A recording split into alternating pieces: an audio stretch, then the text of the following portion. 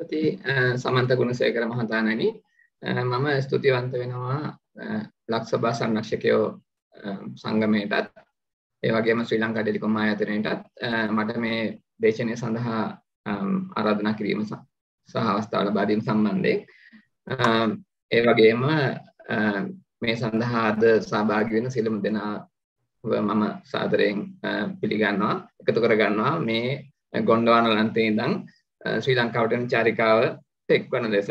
ඇත්තරම මට මේ දේශනය පැවැත්වීම එක්තරා ආකාරයකට මම ඔච්චර දේශන පැත්වත් මට මේ දේශන පැත්වීම එක්තරා ආකාරයකට මහිතන මට දේශන පත්වනා කෙනෙක පුරුදු දෙයක්. ඔගොල හැම දන්න ඇති එක. නමුත් මේ දේශනය මට පොඩි අභියෝගයක් වෙලා තිබුණා.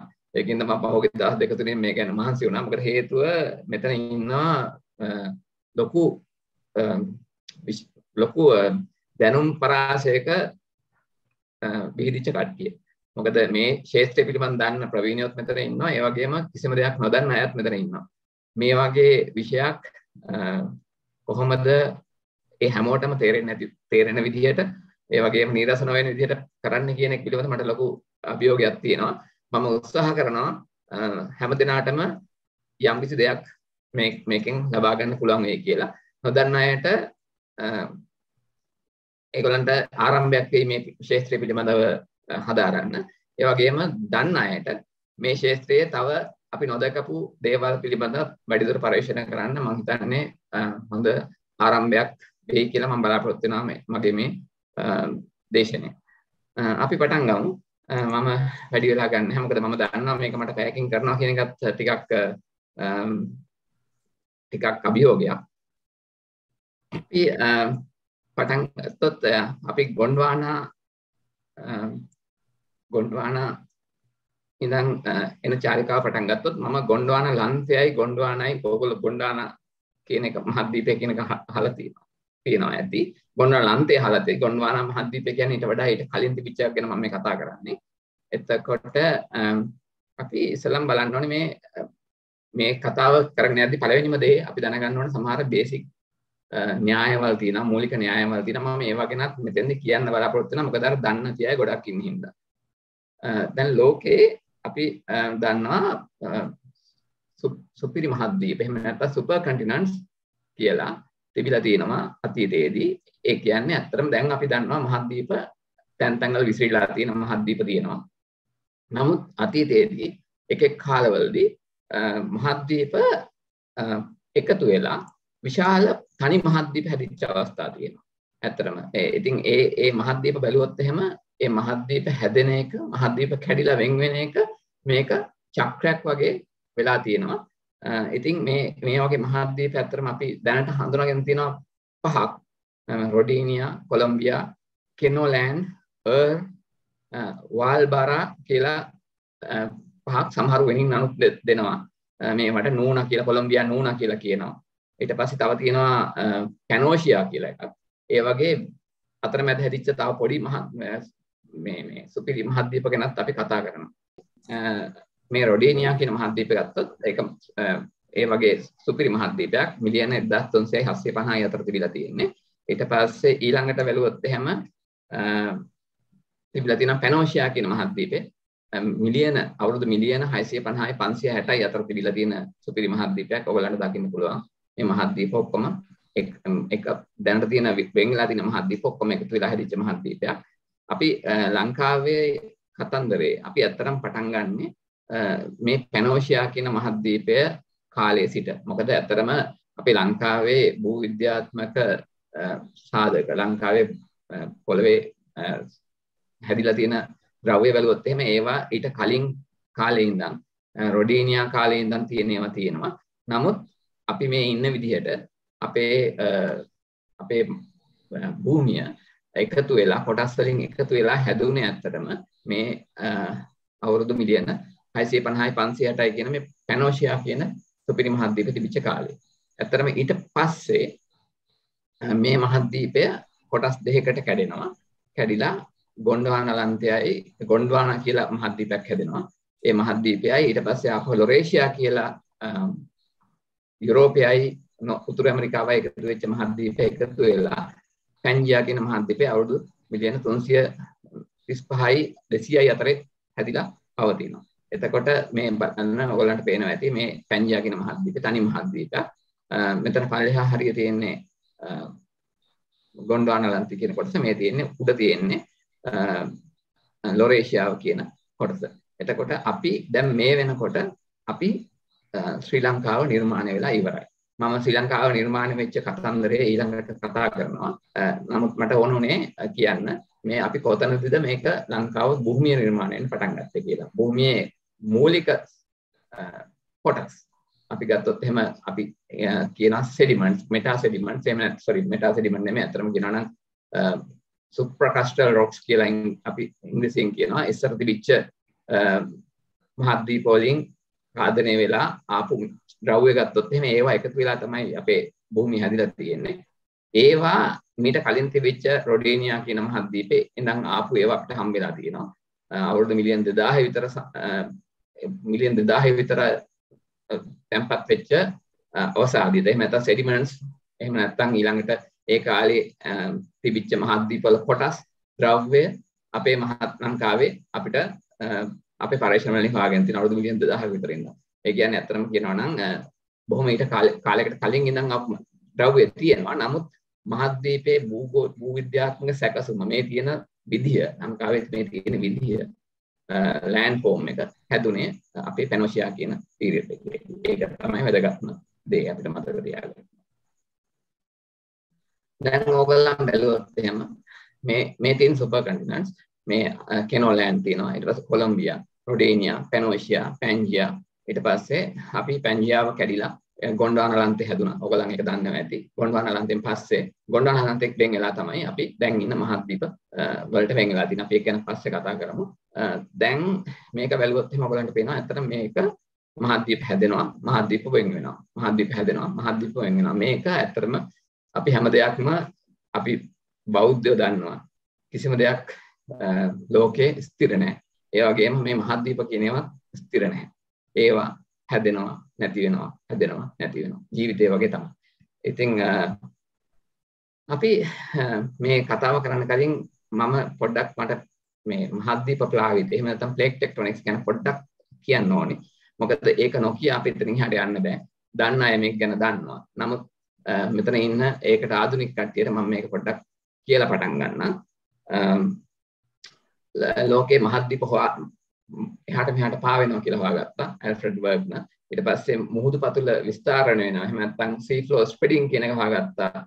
ඊට පස්සේ um, හේස් ඊට පස්සේ ඔය දෙක එකතු කළා. මේ ටූසෝ විල්සන් um, ඇත්තටම um, මේ මහත් මේ තල තලබු කාරක මතය. එහෙම නැත්නම් ප්ලේට් ටෙක්ටොනික්ස් කියන uh, සංකල්පය ඉදිරිපත් කරලා තියෙනවා. අපි මෙතන ප්ලේට් ටෙක්ටොනික්ස් ඇති වෙන ප්‍රධානම හේතුව තමයි අපේ මේ කබල ගත්තොත් පොළොවේ පෘථිවියේ කබල continental crust and oceanic crust crust දෙකක් තියෙනවා. සාගරික කබලයි මහද්වීපික කබලයි. මහද්වීපික කබල හැදිලා තියෙන ද්‍රව්‍යයෙන් හින්දා ඝනකම් වැඩි ඝනත්වය වැඩි. ඝනත්වය වැඩි ඝනකම් අඩුයි. නමුත් ඝනත්වය වැඩි මතක තියාගන්න. ඒ ඝනත්වය වැඩි හින්දා තමයි මේ මහද්වීප අලුතෙන් හැදීම ඒ වගේම විනාශ වීම කියන එක වෙන්නේ. ඇත්තරම මේ ඕෂනික් ක්‍රස්ට් එක එහෙම නැත්නම් සාගරික පතුල සාගරික කබල තියෙන ඇත්තට මූද යට මූද යට තියෙන කොටස තමයි සාගරික කබල වෙන්නේ. ගොඩබිම යට තියෙන යට තියෙන කොටස තමයි මධ්‍යවික කබල වෙන්නේ. මේ සාගරික කබල හැමතිස්සෙම හැදෙනවා විනාශ වෙනවා හැදෙනවා විනාශ වෙනවා. මහද්වීපික කබලත් හැදෙනවා විනාශ වෙනවා. නමුත් ඒකේ ඒක වෙන කාලය වැළුවොත් එහෙම ලොකු කාලයක් යනවා. අවුරුදු මිලියන දහස් ගණන් යනවා මහද්වීප කබල හැදිලා විනාශ වෙන්න. නමුත් සාගරික කබල ඊට වඩා ඉක්මනට හැදෙනවා විනාශ වෙනවා. හැදෙනවා විනාශ වෙනවා. මහද්වීපික කබල එහෙම නෑ. ඒක හිමින් හැදෙනවා හිමින් විනාශ වෙනවා. විනාශ වෙන්නේ ගොඩක් වෙලාවට කාදනයේ හින්දා ඉරෝෂන් හින්දා. හැදෙනවා අලුතෙන් එන එක එක දූපත් වගේ දේවල් එකතු වීම හින්දා. මේක අලුතෙන් හැදෙනවා. මම ඔයගලන්ට පෙන්නන්නම් ඉස්සරහට. දැන් ඉස්සෙල්ලම බැලුවොත් එහෙම මම ඉක්මනට මේ ටික කරගෙන යනවා. මොකද මේවා ඇත්තටම බේසික් දේවල් හින්දා. දැන් ඉස්සෙල්ලම් බැලුවොත් එහෙම ගොඩබිමක්. මේ වගේ පෘථිවි අභ්‍යන්තරයේ තියෙන අපි කියන මැන්ටල් ෆ්ලූම්ස් එහෙම නැත්නම් මේ වගේ මේ වගේ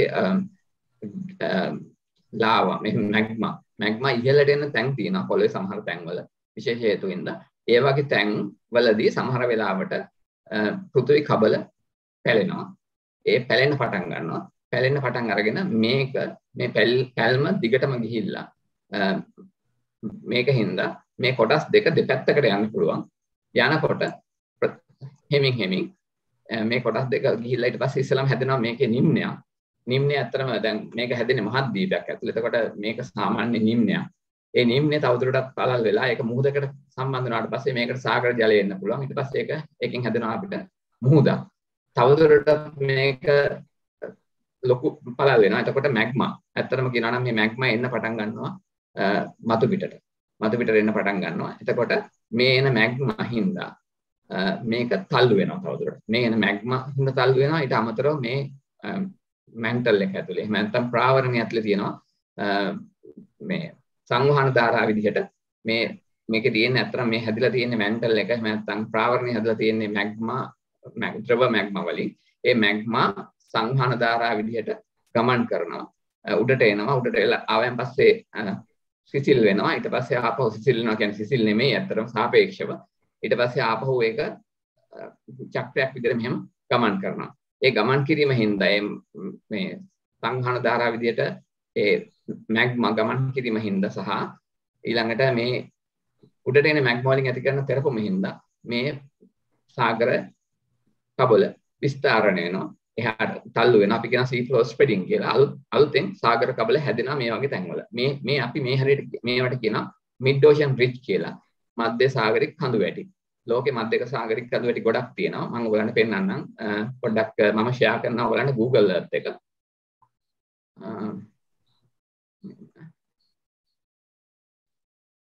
අපි යොත් එහෙම ඉස්සෙල්ලාම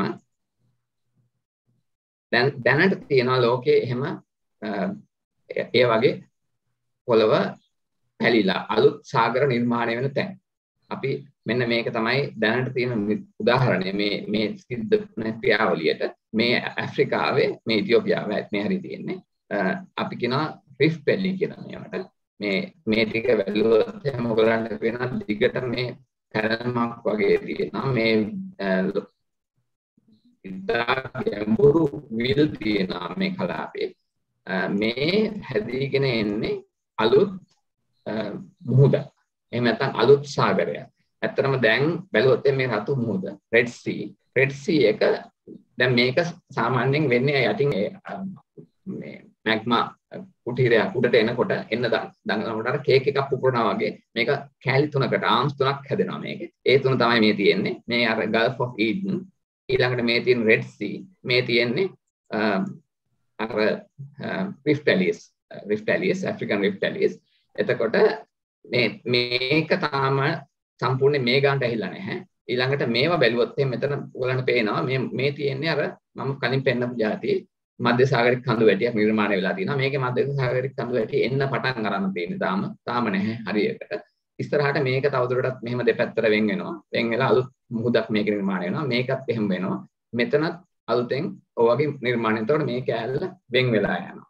එතකොට මේ මේ කොටස වෙන් වෙලා අප්‍රිකාවෙන් වෙනම දැන් මැඩගස්කා වගේ මේ වගේ අලුත් එකක් මේ ටිකෙන් නිර්මාණය වෙනවා.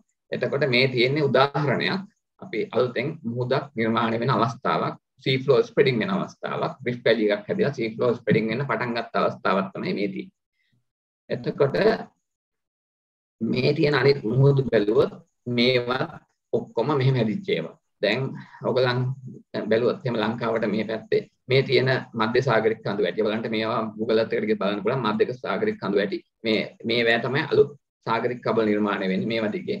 අලුත් සාගරික කබල නිර්මාණය වෙනවා.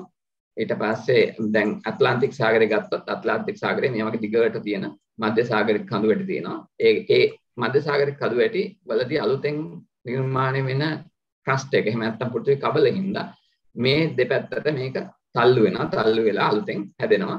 සාගරය තව අලුත් සාගර තලයක් නිර්මාණය වෙනවා. ඒ වගේම සාගරය තව පළල් වෙනවා. එතකොට sea flow spreading සිද්ධ වෙනවා මේ වගේ ප්‍රදේශවලදී. ඊට පස්සේ මම ආපහු යන්නම් මගේ ප්‍රසන්ටේෂන් එකට.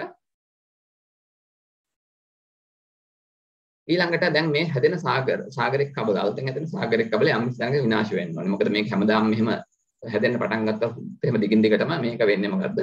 මේක සාගරික කබල කෙලවරක් නැතුව හැදෙන්න බැහැනේ. සමතුලිතතාවයේ තියෙන පැත්තවල විනාශ වෙනවා මොකද වෙන්නේ අත්‍තරම දැන් මෙතන සාගරික කබල අලුතෙන් හැදෙනකොට දැන් මේ ප්‍රදේශය ගත්තොත් එහෙම මේ අලුතෙන් එන මැග්මා වලින් හැදෙන සාගරික කබල උණුසුම් ඝනත්වයෙන් අඩුයි නමුත් ඈතට යන්න යන්න මධ්‍යක සාගරික කඳු වලින් ඈතට යන්න යන්න ඝනත්වය වැඩි වෙනවා. මොකද සිසිල් වීම හින්දා. එතකොට සිසිල් යනකොට ඝනත්වය වැඩි වෙනවා. ඝනත්වය වැඩි වෙනකොට මම කලින් කිව්වා ඔයගොල්ලන්ට මතක තියාගන්න කියලා. කන්ටිනෙන්ටල් ක්‍රස්ට් එකට වඩා ඕෂනික් ක්‍රස්ට් එක එහෙම නැත්නම් සාගරික කබල ඝනත්වය වැඩි. දැන් අපි මොකද කරන්නේ මෙතනින් තල්ලු කරනවා. මේ තල්ලු කිරීමත් එක්ක ඝනත්වයෙන් වැඩි මේ හරිය යනකොට ඝනත්වයෙන් වැඩි ඝනත්වයෙන් වැඩි ටික කැඩිලා මේකෙන් පල්ලෙහාට සිංක් වෙන්න පටන් ගන්න. එහෙම නැත්නම් සබ්ඩක්ෂන් සෝන්. අපි කියන මේක සබ්ඩක්ෂන් වෙන්න පටන් ගන්නවා. ඊට පස්සේ මේ හරියේ මේකට ඇත්තටම කියනවා අපි continental oceanic subduction zone කියලා. Uh, මේ මේ සබ්ඩක්ෂන් වෙන හරියේ මේ වගේ uh, ට්‍රෙන්ච් එකක් ඇති වෙනවා. මේ මේ මේ සබ්ඩක්ෂන් වෙන uh, සාගරික කබල උණු වෙලා පල්ලෙහාට යන උණු වෙලා ඒවෙන් එන මේ මැග්මා වලින් ගිනි කඳු නිර්මාණය වෙනවා. මේ තියෙන ගිනි කඳු මතු පිට මේක හැදෙන්නේ ඇත්තටම ගිනි කඳු හැදෙන්නේ ගොඩබිම උඩ උඩ තියෙන ගොඩබිම මේක තියෙන මහද්වීපික කබල ඒකේ ගිනි කඳු හැදෙනවා එතකොට මේ මේ හරිය ලොකුවට භූමිකම්පය තියෙනවා මේ සැරෙන් සැරේ මේක තල්ලු වෙන හින්දා පල්ලෙහාට ලොකු ශක්තියක් මේ නිදහස් කරනවා. එතකොට භූමිකම්පය තියෙනවා අපි දන්නවා ඔයගලන් දන්නා සුනාමිය ඇති වෙන්නේ මේ වගේ සෙටප් එකක. එතකොට මොකද මේ වගේ තැන්වල තමයි සුනාමිය තියෙන්නේ. මේ ආගාධ එහෙම නැත්නම් ට්‍රෙන්චස් හැදෙනවා මේ වගේ තැන්වල. ඊට පස්සේ ඊට අමතරව තව හැදෙනවා තවත් සමහර තැන්වල මුහුදු මුහුදු සාගරික කබල ඊටාම ඝනකම වුණොත් එහෙම මේක ගොඩබිමකට යනකම් ඉන්නේ නැතුව ඒ මැදදී ආපහු මෙහෙම කැඩලා එක තලයක් මැද අනිත් එක යන්න පුළුවන්. මේක වෙනවා පැසිෆික් පැසිෆික් සාගරය අපිට මේක දකින්න පුළුවන් ගොඩක් වෙලාවට. එතෙන්දි වෙන්නේ ඕෂනික් ක්‍රස්ට් එක ඇතුළට තවත් ඕෂනික් ක්‍රස්ට් එකක් අපි කියන ඕෂනික් ඕෂනික් සබ්ඩක්ෂන් සෝන් කියලා. එතකොටත් වෙන්නේ අර ටිකමයි භූමිකම්ප ඇති වෙනවා මේ පල්ලෙහාට යන සබ්ඩක් වෙන ඕෂනික් ක්‍රස්ට් එක මෙල්ට් වෙලා මේ වගේ අයිලන්ඩ් ආක්ස් අපි කියන වෝල්කැනික් ආක්ස් කියලා. මොකද මේවා වෝල්කැනික් අයිලන්ඩ් ආක්ස් කියලා මේවා අයිලන්ඩ් විදිහට හැදෙන්නේ. සමහර වෙලාවට අයිලන්ඩ්ස් විදිහට හැදෙනවා. සමහර වෙලාවට මෝද යට ගිනි කඳු තියෙනවා. ඒවා මේ මේ මතු මතු වෙලා නැත්නම් අපි කියන්නේ අයිලන්ඩ් ආක් කියන්නේ නිකන් volcanic arcs කියලා විතරයි කියන්නේ. මේවට කියනවා continental volcanic arcs. මේවට කියනවා island arcs කියලා. මේවා මුහුදේ තියෙන දූපත් විදිහට හැදෙන හින්දා. මතක තියාගන්න ඒ දෙක ඉතා වැදගත් continental arcs and volcanic island arcs. මම උදාහරණ දෙකක් පෙන්නන්නම්. ඊළඟ අවස්ථාවට මම ගිහිල්ලා ඉන්නම්. ඊට පස්සේ දැන් මේ subduction වෙනකොට ටික ටික මොකද වෙන්නේ? මේ oceanic crust එක එන්න එන්න විනාශ වෙලා යනවා. දැන් අර හැදිච්ච ඕෂනික් ක්‍රස්ට් එක විනාශ වෙලා ගිහිල්ලා මේ දෙක ලං වෙනවා ලං වෙලා මේ මුහුද වැහිලා යනවා එතකොට මේ මුහුද වැහෙනවා දැන් අර හැදිච්ච අලුතෙන් හැදුන මුහුද ඒක කාලයක් තිබුණා ඊට පස්සේ සබ්ඩක්ෂන් වෙන රේට් එක වැඩි නම් අලුතෙන් හැදෙන රේට් එකට වඩා වෙන්නේ මුහුද ටික ටික කුඩා වෙලා වැහිලා යනවා එතකොට අන්තිමේදී මේ මුහුදේ තිබිච්ච අවසාදිත මේ මේ ක්‍රියාවලින් හින්දා තෙරපිලා හැදෙනවා කඳු වැටි. මේ මේක ඇත්තටම අපි හිමාලය ගත්තොත් හිමාලය හොඳ උදාහරණයක් මේකට. එතකොට මේ අවසාන ප්‍රතිඵලය තමයි මේකට කියන අපි continental continental collision කියලා. මහද්වීප මහද්වීප ගැටීමක් ඇති වෙනවා. මේවෙන් භූමිකම්ප ඇති වෙනවා. නමුත් volcanic volcanism ඇති වෙන්නේ නැහැ. මේ අවස්ථාවේදී. එතකොට මේ මේක ඇත්තටම සයිකල් එකක්. මේක සයිකල් එකක්. බැලුවොත් එහෙම දැන් මේ තියෙන්නේ මිඩ් ඕෂන් රිජ් එකදී මේක වැඩි වෙනවා. දෙපැත්තට යනවා. මේ ඉන්දියාව ඇත්තට මේ වැඩේ වුණා ඉන්දියාවට. ඉන්දියාවට උඩ 33 මුහුද තිබුණා. ඒක වැහිලා තමයි හිමාලය හැදුනේ. මම මේක ගැන දීර්ඝ වශයෙන් කතා කරන්න මම මෙතෙන්දි කතා කරන්න යන්නේ නැහැ මේක ගැන. ඊළඟට ඔයගලන්ට පේනවා ඇති මම මෙන්න මේක පොඩ්ඩක් කියන්න මේ තියෙන්නේ මේ වෙන දේ සමරියක් විදිහට ගත්තොත් අලුතෙන් හැදෙනවා එම්බ්‍රයනික් ස්ටේජ් එක කියලා මේක විල්සන් සයිකල් කියලා මේ ටූඩෝ විල්සන් තමයි මේ මතය ඉදිරිපත් කළා මේ සයිකල් එක. එහෙම නැත්නම් මේ චක්‍රය සමුද්‍රය හැදෙන විනාශ වෙන චක්‍රය පිළිබඳව කතා කළේ මුලින්ම. මුලින්ම එම්බ්‍රයනික් ස්ටේජ් එක ඊට පස්සේ ජුවෙනයිල් ස්ටේජ් එක මේ අලුතෙන් හැදෙන්න පටන් අරගත්ත එක. මේ උදාහරණයක් විදිහට අපි රෙඩ් සී එක ගන්න පුළුවන්. මේ එම්බ්‍රයනික් ස්ටේජ් එකට ඇෆ්‍රිකන් රිෆ්ට් වැලි ඊට පස්සේ මැචුවර් ස්ටේජ් එක. අපි ඇට්ලාන්ටික් සාගරය ගත්තොත් ඇට්ලාන්ටික් සාගරේ අර වගේ කන්ටිනෙන්ටල් ඕෂනික් සබ්ඩක්ෂන් සෝන්ස් නැහැ. ඒ කියන්නේ ඒ හරියේ අර එකක් යටින් එකක් යන සබ්ඩක්ෂන් සෝන්ස් නෑ ඒකට කියනවා මැචුවර් ස්ටේජ් කියලා ඊට පස්සේ ඒ මැචුවර් ස්ටේජ් එකට පස්සේ තමයි තවදුරටත් මේක ඕෂනික් um, සිසිල වෙනකොට තමයි අර එක එක සාගරික තලය මහද්වීපික තලය යටින් යන්න පටන් ගන්න. ඒකට තමයි ඩික්ලයිනින් ස්ටේජ් එක කියලා කියන්නේ. එතකොට එන්න එන්න සාගරයේ කුඩා වෙන පටන් අවසානයේදී එතකොට මුහුද සම්පූර්ණයෙන් වැහෙන්න පටන් ගන්නවා. මධ්‍ය මධ්‍යධානී මුහුද ගත්තොත් එහෙනම් ඒක හොඳ උදාහරණයක්. මධ්‍යධානී මුහුද ඉස්සරහදී වැහිලා අවසන් වෙලා යනවා. ඊළඟට අවසානයේදී සූචරින් ස්ටේජ් එක සූචරින් ස්ටේජ් එක කියලා කියන්නේ sorry සූචරින් ස්ටේජ් එක කියලා කියන්නේ continental continental collision Himalaya Himalaya උදාහරණයක්. එතකොට මම මේ දැනට ලෝකේ තියෙන තැන් ටිකක් මම උගලන්ට පෙන්වන්නම් මේ අවස්ථාව එක එක අවස්ථාවන් පෙන්වන්න. මම ආපහු Google Earth එකට ගිහිල්ලා එන්නම්.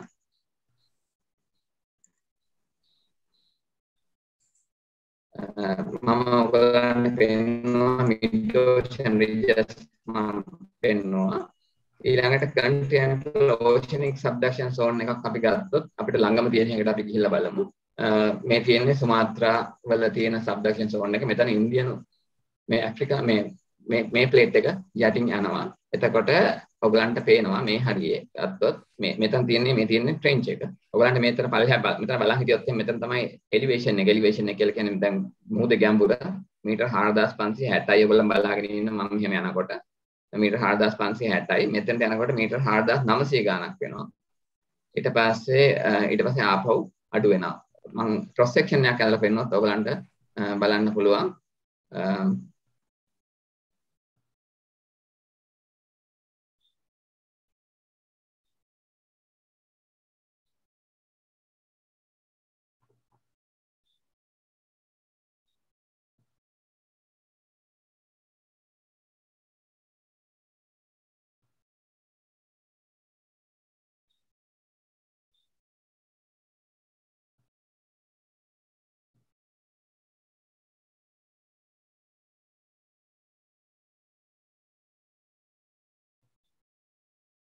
දකින්න මේ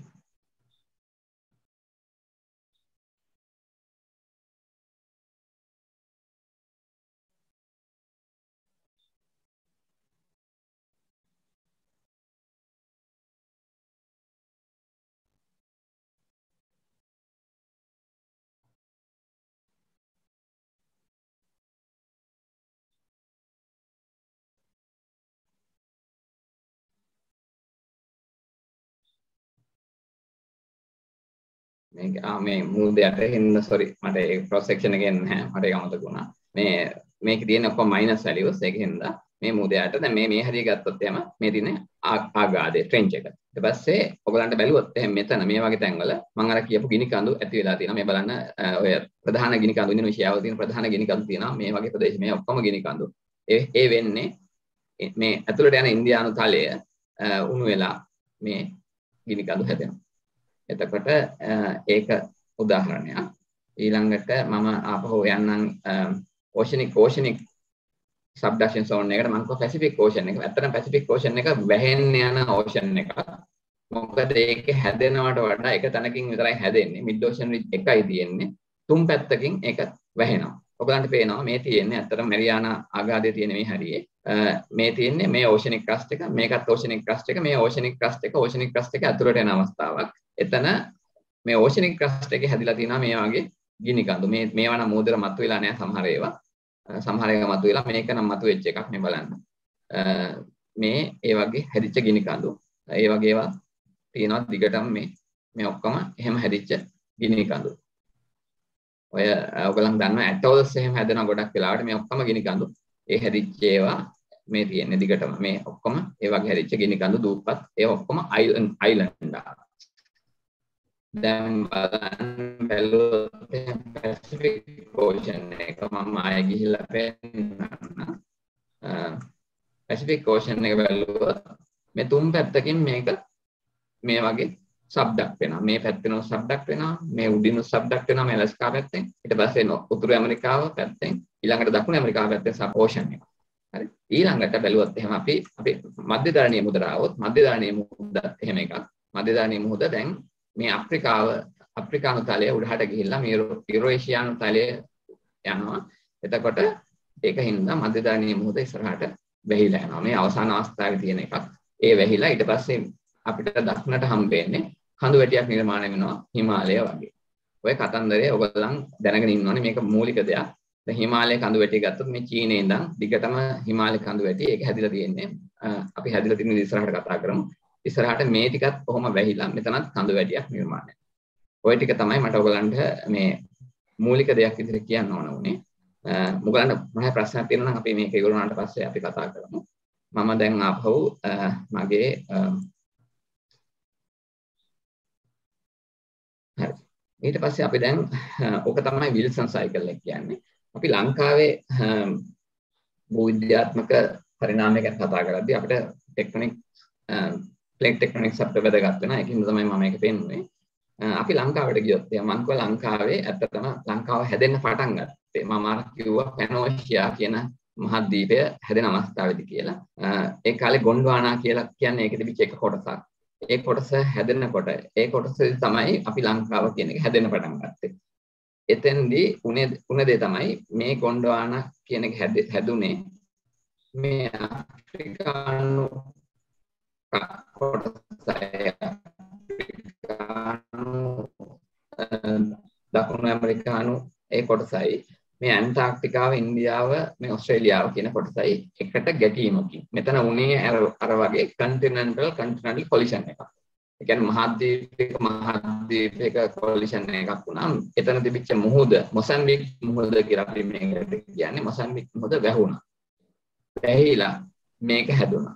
එතන හැදෙනකොට මේ වගේ අර කඳු වැටියක් නිර්මාණය වෙනවා මේ ඊස්ට් ඇෆ්‍රිකන් ඔරෝජිනි කියන්නේ ඔරෝජිනි කියන්නේ කඳු වැටි නිර්මාණය වීම කඳු වැටියක් දිග කඳු වැටියක් මේ මේ ටිකේ නිර්මාණය වෙනවා ඔයගලන්ට පේනවා ලංකාව තියෙන්නේ මේ කලාපේ ඊට පස්සේ මම තව ඩයග්‍රෑම් එකක් පෙන්නුවත් මේ තියෙන්නේ ඔය ඊස්ට් පැන් අපි කියන පැන් ඇෆ්‍රිකන් ඔරෝජිනි කියලා කියනවා මේ කාලේදී මේ ඊස්ට් ඇෆ්‍රිකන් ඔරෝජිනි එක තමයි මේ තියෙන පැන් ඇෆ්‍රිකන් බෙල්ට් එක මේ මේ මේ කොටස තමයි ලංකාව හැදෙන්නේ. එතකොට මේ ඉන්දියාවේ මේ කොටස කලින් ඉඳන් තිබුණා මතක තියාගන්න මේ ක්‍රේටෝන් එකක්. කලින් ඉඳන් තිබිච්ච තලයක්. නමුත් මේ ඉන්දියාවේ දකුණු කොටසයි ලංකාවයි ඊට පස්සේ මේ ඇන්ටාර්ක්ටිකාවයි මේ ටික මේ ෆැන් ඇෆ්‍රිකන් ඔරෝජිනි එකද හැදුනේ. මේවා හැදුනේ ඇත්තටම අවුරුදු මිලියන 600යි 550යි ඒ වගේ කාලයක් ඇතුළත. එතකොට මෙතෙන්දි තමයි අපේ මේ තියෙන භූමිය නිර්මාණය වුණේ. එතකොට ඒ භූමිය නිර්මාණය වෙච්ච විදිහ අපි ඊළඟ ස්ලයිඩ් එකේ බලමු ලංකාව බැලුවොත් එහෙම ලංකාවේ තියෙනවා ප්‍රධාන වශයෙන්ම භූවිද්‍යාත්මක කලාප තුනක්. එතකොට කලාප තුන බැලුවොත් එහෙම ප්‍රධාන වශයෙන්ම තියෙන්නේ වනික් ඊළඟට හයිලන්ඩ් කොම්ප්ලෙක්ස් එක මේ හුණුගල් සහ අනිකුත් අවසාධිත වර්ග සෙඩිමන්ටරි රොක්ස් වලින් හැදිච්ච කොටස තමයි හරිය. ප්‍රධාන මේ ඊට අමතරව තියෙන කඩු ගන්නාව කම්ප්ලෙක්ස් කියලා එකක් මෙතන. ඒක වෙනම කොටසක් අන්නේ කම්ප්ලෙක්ස් එක ඇතුලේ තියෙන. එතකොට මේවා තමයි ප්‍රධාන කොටස් ටික ලංකාවේ භූවිද්‍යා භූවිද්‍යාත්මක බෙදීමක් විදිහට සැලකුවා. මෙතෙන්දී අපි මේ කොටස් තුන බැලුවාම මේ කොටස් තුන එකිනෙකට මූලික මුල්ම ආපු ඒවා කාල බැලුවම මේ දෙක ඊට වඩා අලුත් අලුත් ද්‍රව්‍ය වලින් තමයි හැදිලා තියෙන්නේ. මේවා ඊට පස්සේ මැග්මැටිසම් මෙහෙම මේවට ඇහිලා තියෙනවා ඊට පස්සේ මැග්මා ඇහිලා මේවා තවදුරටත් මේවලා තියෙනවා. ඊට පස්සේ මෙටමොවිසම් කියන්නේ ඔයගොල්ලෝ දන්නවා අපි කියනවා විපරීතකරණය කියන එක. පාෂාණ ඉහළ උෂ්ණත්වයකට සහ ඉහළ පීඩනයකට ලක් වුණාට පස්සේ ඒවැය තියෙන khනිජ විද්‍යාත්මක සංයුතිය වෙනස් වෙනවා. එතකොට රසායනික විද්‍යා සංයුතිය වෙනස් වෙන්නේ නැහැ. මතක තියාගන්න රසායනික සංයුතිය වෙනස් නොවේ. ඛනිජ සංයුතිය වෙනස් වෙනවා. අලුත් ඛනිජ හැදෙනවා. ඒ ක්‍රියාවලිය වෙලා තියෙනවා මේ කාලේදී මේ මේ දෙකේ ඒක වෙලා තියෙන අවුරුදු මිලියන 660යි 500යි වගේ කාලය ඇතුළත මේක ඊට වඩා අඩු පස්සේ වෙච්ච දෙයක් තමයි විජන් කම්ප්ලෙක්ස් එකේ තියෙන්නේ. එතකොට ටෙම්පරේචර් එක ගත්තොත් මම කිව්වා දැන් මේක ඉහළ උෂ්ණත්ව ඉහළ පීඩන වලට භාජනය වෙනවා කියලා. සෙන්ටිග්‍රේඩ් අංශක 700යි 900යි අතර උෂ්ණත්වයකට භාජනය වෙලා තියෙනවා හයිලන්ඩ් කම්ප්ලෙක්ස් එක. ප්‍රෙෂර් එක කිලෝබාස් 8යි 10යි අතර. සාමාන්‍යයෙන් අපි ගත්තොත් මම දැන් කිව්වා අපි ඊළඟට කතා කරමු මේක. මෙතන තියෙනවා ඊළඟට මේ මේ මේ වන්නි කම්ප්ලෙක්ස් එකත් ඒ හා සමානම් වගේ ඊට වඩා අඩු පොඩ්ඩක් අඩු ප්‍රෙෂර් ටෙම්පරේචර් කන්ඩිෂන්ස් තියෙනවා. විජන් කම්ප්ලෙක්ස් ඊට වඩා අඩුයි ඇත්තටම. ටෙම්පරේචර් එකත් අඩුයි. ප්‍රෙෂර් එක අපි තාම හරියටම දන්නේ නැහැ ඒකේ. මේකේ තියෙන පාෂාණ ගත්තොත් පාෂාණ සම්පූර්ණ වෙනස් ගොඩක් දුරට වෙනස්. දැන් අපි මධ්‍යම කඳුකරේ ගත්තා එහෙනම් හයිලන්ඩ් කම්ප්ලෙක්ස් එක ගත්තොත් මැද තියෙන හයිලන්ඩ් කම්ප්ලෙක්ස් ගත්තොත් ඒකේ තියෙනවා මාබල් ක්වාර්ට්සයිට් ඔයගලන් දන්නවා තිරුවාන එහෙම නැත්නම් ඔය මාබල් කියලා කියන්නේ මේ අපි කටවහරට කියන හුණුගල් කියන හුණුගල් නෙමෙයි අතර මේවා. මාබල් මාබල් කියලා කියන ගොඩක් අය කිරිගරුණු කියලා කියනවා. ඒවා සාමාන්‍ය මේ දෙකේ අඩුයි. ඊට පස්සේ කළු ගල් කියලා කියන චානෝකයිට් කියන ගොඩක් දුරට මේකේ තියෙනවා. මේ දෙකේ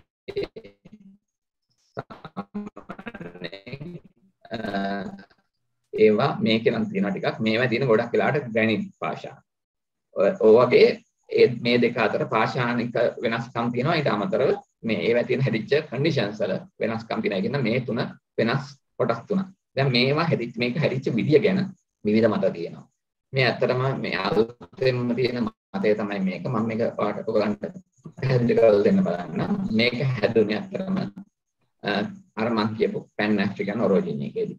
මුලින්ම මේ මේ මේ තියෙන්නේ බස් මොසැම්බික් මුහුදේ අවසාදෙත් තැන්පත් වෙනවා. මේ තියෙන ඉස්සර තිබිච්ච වානි කම්ප්ලෙක්ස් එක මේ තියෙන කඩු ගන්නා කම්ප්ලෙක්ස් එක. මෙතන ඇත්තටම සබ්ඩක්ෂන් මාජින් එකක්. සබ්ඩක්ෂන් මාජින් එකක්. මෙතෙන්දී මේ ඕෂනික් ක්‍රස්ට් එක යනවා මේ වානි කම්ප්ලෙක්ස් එක තියෙන කොටස ඇතුළට. මේක ආක් එකක් විදිහට තමයි සැලකන්නේ. අපි වෝල්කැනික් ආක් මැග්මැටික් ආක් එකක්. මේක ඇත්තටම ඒ කියන්නේ මැග්මා වලින් හැදිච්ච අර දැන් අර මම අර මුහුදේ පෙන්නුවා වගේ ආක් එකක් ඇත්තටම කියනවා. ඒ ආක් එකක් ඇතුළට මේක යනවා. එතෙන්දී දිය වෙච්ච ද්‍රව වෙච්ච මැග්මා මේක ක්‍රස්ට් එක මේ මෙල්ට් වෙලා ඒන ඒවැන් මේ කඩු ගන්නාව කම්ප්ලෙක්ස් එක හැදෙනවා. එතකොට මේ ක්‍රියාවලිය සිද්ධ වෙගෙන යනවා. ඊට පස්සේ ඊළඟ ස්ටේජ් එකකදී මෙතන තියෙන මේ සබ්ඩක්ෂන් එක නැවතිලා මේ දෙකම එකතු වෙලා මේ විජන් කම්ප්ලෙක්ස් එක කියන එකත් ඇත්තට මැග්මැටික් ආක් එකක්. ආක් එකක් කියලා කියන්නේ ඒකත් වෝල්කැනික් ඔරිජින් එකක් තියෙන එකක්. වෝල්කැනික් මැග්මැටික් ඔරිජින් එකක් තියෙන එකක්. ආග්නේය සම්භවයක් තියෙන එකක්. එතකොට මේ තන් තිබුණ මේ ප්‍රී ගොන්ඩ්වාන ගොන්ඩාන වලට කලින් තිබිච්ච මහද්දීප ඒක විනාශ වෙලා ගිහිල්ලා ඒකේ තිබිච්ච අවසාදිතයි ඔක්කොම ටික මේ එකතු වෙලා මෙතන දැන් සබ්ඩක්ෂන් වෙන්න පටන් ගන්නවා අන්තිමේදී මම අර කියපු විදිහට පැන් ඇෆ්‍රිකන් ඔරිජින් එකේදී මේ මුහුද වැහිලා මේ තිබිච්ච ටික ඔක්කොම එකතු වෙලා එකට තෙරපිලා ඉහළ උෂ්ණත්වයකට ඉහළ පීඩනයකට ලක් වෙලා මෙතන හැදෙනවා අපේ වර්තමාන හයිලන්ඩ් කොම්ප්ලෙක්ස් එක. එතකොට මේ වැඩේ වෙන්නේ අතරම. ඔයගොල්ලන් මතක තියාගන්න මේ වැඩේ වෙන්නේ මේ උඩ නෙමෙයි. දැන් අපි අර ප්‍රෙෂර් ටෙම්පරේචර් කන්ඩිෂන්ස් බැලුවොත් එහෙම කිලෝබාස් ඔයගොල්ලන් දකිනවා 8යි 10යි වගේ තියෙනවා. ටෙම්පරේචර් එක මෙච්චරක් තියෙනවා. එච්චර ප්‍රෙෂර් එකක්, එච්චර ටෙම්පරේචර් එකක් තියෙන්න පුළුවන් සාමාන්‍ය කිලෝමීටර් 25යි 50යි අතර වගේ යට. ඒ යට තමයි මේවා හැදිලා තියෙන්නේ. දැන් අපි ඒවා ඊට පස්සේ මේ හැදුනට පස්සේ මේ අපි කියනවා එක්ස්හියුමේෂන් කියලා. මේ හැදිච්ච යට හැදිච්ච මේවා ඛාදනය වීම හින්දා සහ ඊළඟට තව මහද්දීප මේ භූත භූ කාරක ක්‍රියාකාරකම් හින්දා මේ යට තිබිච්ච ඒවා ටික ටික උඩට එනවා. උඩට එනවා. උඩේ වගේ රොඩ් වෙලා යනවා. එතකොට දැන් මේ පල්ලෙහා ලෙවල් එකක් තමයි අපේ දැන් මේ මත පිට තියෙන්නේ. මතක තියාගන්න. මේ එතකොට මේ යට ලෙවල් එකේ හැදිච්ච ඒවා පතුලේ කිලෝමීටර් 25 30ක් ගැඹුර ක්‍රස්ට් එකේ යට හැදිච්ච ඒවා තමයි අපේ දැන් මේ මතු පිට පැහැහිලා තියෙන්නේ. එතකොට මම ඕකට තව ඔයගලන්ට උදාහරණයක් මෙහෙම දෙයක් වෙච්ච එකක් කලින් පෙන්වන්න. මෙන්න බලන්න. මේ තියෙන්නේ ඉන්දියාව ගිහිල්ලා උඩහා තිබුණා. දැන් ඉන්දියාව උඩහට තල්ලු වුණා. මම ඒක ඊළඟට පෙන්නනවා ඔයගලන්ට. ඉන්දියාව උඩහට තල්ලු වෙනකොට මේ වගේම සබ්ඩක්ෂන් එකක් වෙලා මේ තියෙන සබ්ඩක්ෂන් වෙන මේ සබ්ඩක්ෂන් වෙනවා. මේ පේනවාද ඔයගලන්ට මේ තියෙන්නේ මේ දැන් රුසියාව තියෙන ඒ කියන්නේ රුසියාව ලොරේෂියාව අපි කියලා කියන රුසියාව තියෙන හරිය. ඒ ආසියානු මහද්වීප තලයේ මේක දැන් දෙකකින් සබ්ඩක්ෂන් වෙනවා වෙලා ඇවිල්ලා මේක ගැටෙනවා. එතකොට මේ තියෙන අපි හිතමු මෙන්න මේක ගත්තොත් මේ කොෂිටාන් ලක්දා ආක් කියන එක. මේක අපේ විජන් කම්ප්ලෙක්ස් එක වගේ එකක් උදාහරණයක්. මේක ඇහිල්ලා ඔබ මේ සබ්ඩක්ෂන් මේක ඇහිල්ලා මේකට එකතු වෙනවා. මේ තියෙන එකතු වෙලා අවසානයේදී අවසානයේදී ඔයගලන්ට දකින්න පුළුවන් මොකද වෙලා තියෙන්නේ අන්තිමේදී?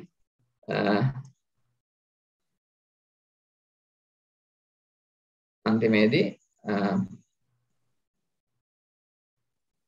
මම ඉන්න sorry අන්තිමේදී මේ මධ්‍ය මේ ඉන්දියා ඉන්දියා හිමාලය අඩවිය හැදෙනකොට මේ මේක හිමාලය කඳු වැටියේ කොටසක් බවට පත් වෙලා. ඒක නිකන් හරියට අපේ මධ්‍යම කඳු කරේ තියෙනවා. මධ්‍යම කඳු කරේ නෙමෙයි අතම හයිලන්ඩ් කම්ප්ලෙක්ස් කියනවා. එහා පැත්තේ විජන් කම්ප්ලෙක්ස් කියනවා. ඒ වගේ තමයි මේ KL ආක් කියන එක මේ ඉන්දියානු මේ හිමාලය නරෝජිනියකේදී හොඳ උදාහරණයක් මේ වෙච්ච වැඩේම තමයි මෙතන වෙලා තියෙන්නේ. හරි. ඔයගොල්ලන්ට ඒක මම හිතන්නේ තේරෙයි. හරි. ඊට පස්සේ අපි ඉන්දියාවේ මේ කතන්දරේ වුණාට පස්සේ දැන් අපි ඉන්නේ අවුරුදු මිලියන 550ක් ඈත 550ක් ඈත ඊට පස්සේ මේ අපි ඒ කාලේ මේ තියෙන ඇත්තම මොඩල්ස් දෙකක් තියෙනවා දෙකක් නෙමෙයි ඊටත් වඩා තියෙනවා. අපි ඇන්ටාර්ක්ටිකාට සම්බන්ධ වෙච්ච වෙලා හිටියේ කොතනද කියන පිළිබඳව එක එක මත තියෙනවා. ලුක්සොම් බේ කියලා ලුක්සොම් බොක්ක කියලා තැනකට අපි ඇන්ටාර්ක්ටිකාවල සම්බන්ධ වෙලා හිටියා කියලා කියනවා. ඊට ඊට අමතරව තව නේපිය ලෑන් කියලා ඇන්ටාර්ක්ටිකාවල තව තැනකට සම්බන්ධ වෙලා කියලා තව තව විද්‍යාඥයෙක් කොටසක් විශ්වාස කරනවා. මොකද මේ තියෙන ලංකාවේ තියෙන මේ පාෂාණ ඒ කියන්නේ හයිලන්ඩ් කම්ප්ලෙක්ස් එක කන්ටිනියු වෙන තැන. බැලුවොත් එහෙම ඒ ඒ හයිලන්ඩ් කම්ප්ලෙක්ස් එකේ තියෙන රොක්ස් කන්ටිනියු වෙන විදිහට ඇන්ටාර්ක්ටිකාවටයි සව් ඉන්දියාවේ පල්ලෙහාටයි මැඩගස්කාවලටයි මේ කන්ටිනියු වෙන තැන අනුව තමයි අපි මේක කොහාටද ඇන්ටාර්ක්ටිකාවට හයි වෙන්නේ කියලා අපි ඒක ජිග්සෝ පසල් එකක් අපි පසල් එකක් හදනවා වගේ අපිට පුළුවන් මේක කියන්නේ ඒ ගැන මත දෙකක් ඇත්තටම තියෙනවා. දැන් බැලුවොත් මේ කාලේදී ඔයගලන්ට පේනවා මේ මැඩගස්කායි ඉන්දියාවයි ඉන්දියාවේ දකුණු කොටසයි ලංකාවයි ඇන්ටාර්ක්ටිකාවයි මේ මේ රීජන් එකේ කොටසක් මේ මෙතන තියෙනෙත් එහෙමයි. මේ සූචරින් ගැන මෙතන බැලුවොත් එහෙම ඔයගලන්ට පේනවා මෙතන මේ තියෙන අපේ විජයන් හයිලන්ඩ් කම්ප්ලෙක්ස් එක. හයිලන්ඩ් විජන් බවුන්ඩරි එක.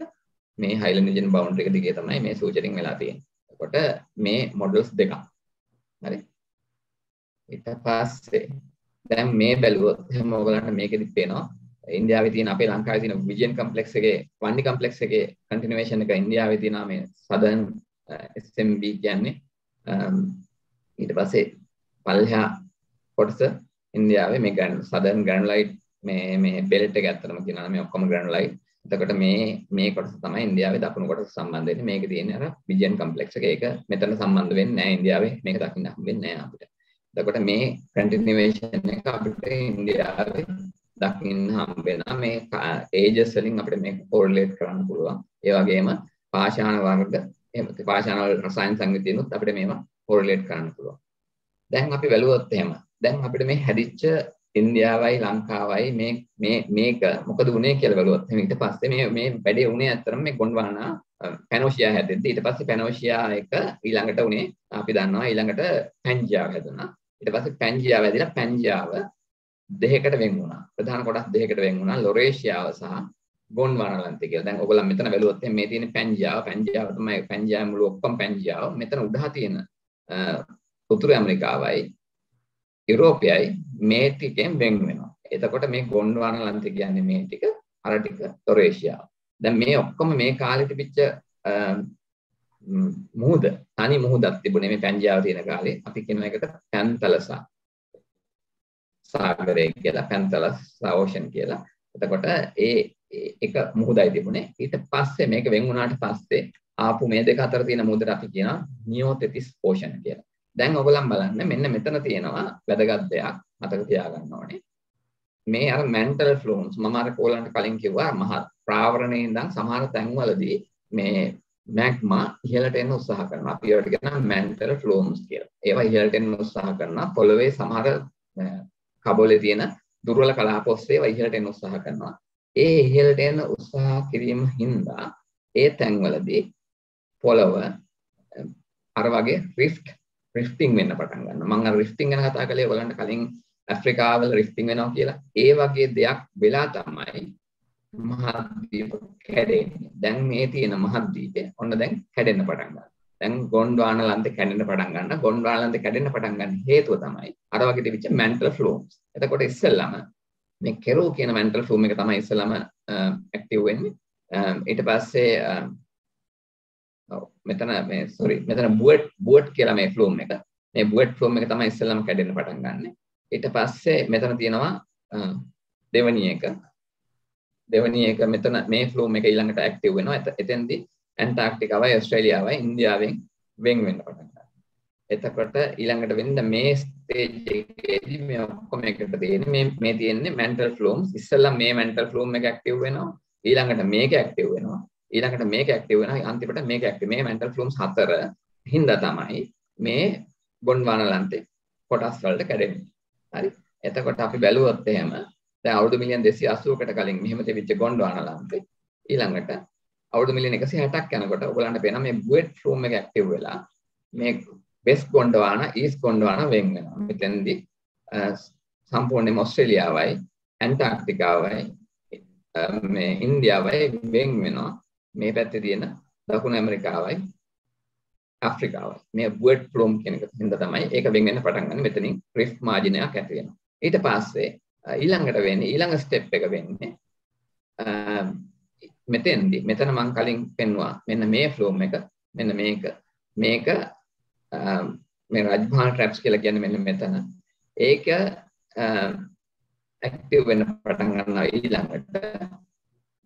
ඒක ඇක්ටිව් වෙලා මෙතනින් වෙන් වෙනවා. ඒ වෙන් වෙන්නේ ඕස්ට්‍රේලියාවයි මේ ඇන්ටාර්ක්ටිකාව වෙන ඉන්දියාව වෙන් වෙනවා. දැන් ඉන්දියාව වෙන් වෙලා ඉන්දියාව මේ එතකොට ඉන්දියානු සාගරය හැදෙන්න පටන් ගන්නවා. ඉන්දියානු සාගරය දැන් හැදෙනවා. ඉන්දියානු සාගරය හැදිලා ඉන්දියාව ඉහළට යනවා. ඔය යන අතරේ මේ මේරියන් ෆ්ලූම් කියන එක. මේරියන් ෆ්ලූම් කියන එක ඇක්ටිව් වෙලා ඊට පස්සේ ඉන්දියාව මැඩගස්කාර වලින් වෙන් වෙනවා. දැන් ඔයගලන්ට අපි අපි වයස දෙකේ ඉන්න අය අපි පරිසරය ගැන කතා කරන අය මේ මේක බලන්න අවුරුදු මිලියන 160 මේ ඩයිනෝසෝර්ලා හිටපු කාලේ. එතකොට මේ මේ ඩයිනෝසෝර්ලා මේ කාලෙදී මේ ඔක්කොම මහද්වීපවල ඉන්න ඇති. ඉන්දියාවෙත් අපි දන්නවා හිටියා කියලා. ලංකාවේ අපිට සාධක හම්බෙන්නේ නැහැ. මොකද හේතුව ලංකාවේ අතරම මේ අපිට එහෙම ලොකු අවසාදිත නීති නැහැ.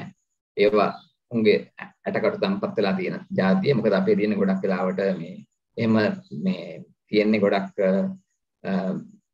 විපරීත භාෂාන්. අවසාදිත තම්පත් වෙලා තියෙන ද්‍රෝණි නැහැ. එකයි තියෙන්නේ ලංකාවේ. අපි දන්න විදිහට. ඉතින් ඒක හින්දා අපිට ලංකාවේ ඩයිනෝසෝර් ෆොසිල් හම්බෙන්නේ නැහැ. නමුත් මේ කලාපේ ඔක්කොම එකට තිබුණේ ජුරසික් වලදී. ඊට පස්සේ ක්‍රිටේෂියස් එනකොට අපි වෙන් වුණා. එතකොට මැඩගස්කා ඇන් මේ ඉන්දියාව මේ කාලේ ඩයිනෝසර්ලා හිටියා. ඊට පස්සේ මේ මේ එතන මේ හරියේ සබ්ඩක්ෂන් වෙනවා. ඔයගලන්ට පේනවා මේ සබ්ඩක්ෂන් වෙනවා මේ ටිකේ. දැන් මේ ටිකේ අර අයිලන්ඩ් ආක්ස් හැදෙනවා. අර ඕෂනික් ඕෂනික් සබ්ඩක්ෂන් වෙනවා. මේ තියෙන නියෝතෙසිස් ඕෂන් එක දැන් ටික ටික වැහිගෙන යනවා. හරි. එතකොට දැන් මේ ඉන්දියා ඉන්දියානු සාගරය ඇති වෙනවා. මැඩගස්කා ඉන්දියාවෙන් වෙන් වෙනවා. දැන් අපි ෆ්ලෝරා ප්ලාන්ට්ස් වල ඉවොලූෂන් ගැන කතා කරද්දී අපි කතා කරනවා මේ මේ මැඩගස්කා ඉන්දියා ශ්‍රී ලංකා ලින්කේජ් එක ගැන ශාකවල. එතකොට ඒ කතා කරද්දී මෙතන හේතුව තමයි මේ මේ මහද්වීප එකට තිබුණේ කාලේ වෙනකොට. ඊට පස්සේ දැන් මැඩගස්කා වෙන් වෙනවා. ඔයගලන්ට පේනවා ඇති මේ මේ අර මං කිව්ව KL ආක් මේ ආක් එක ඒක තියෙනවා. මෙතන නියෝතෙතිස් ඕෂන් එක ටික ටික වැහෙනවා. මේ ඉන්දියානු සාගරය.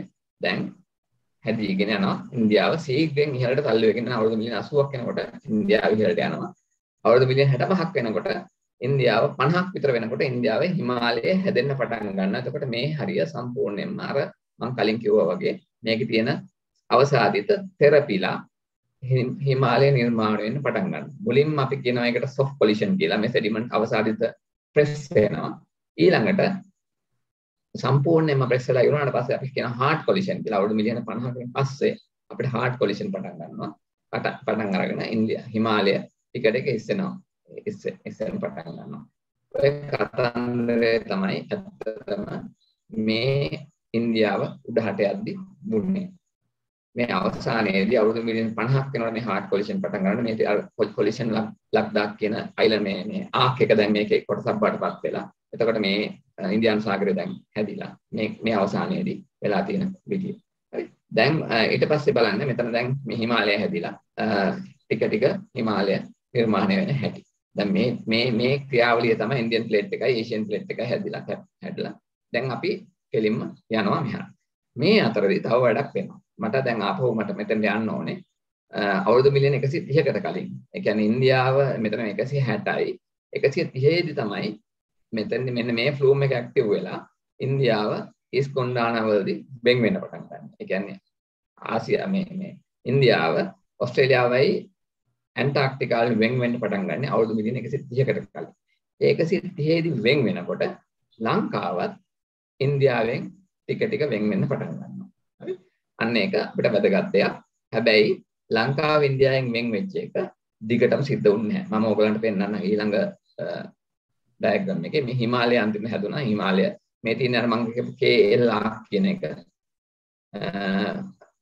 පොසිෂන් ලක්දාක් ආක් කියන එක. ඒක දැන් මේ කොටසේ කෑල්ලේ. මේක මේක හරියට අපි ලංකාව හැදුනා වගේ තමයි විජන් කම්ප්ලෙක්ස් එක වගේ තමයි. ඊට පස්සේ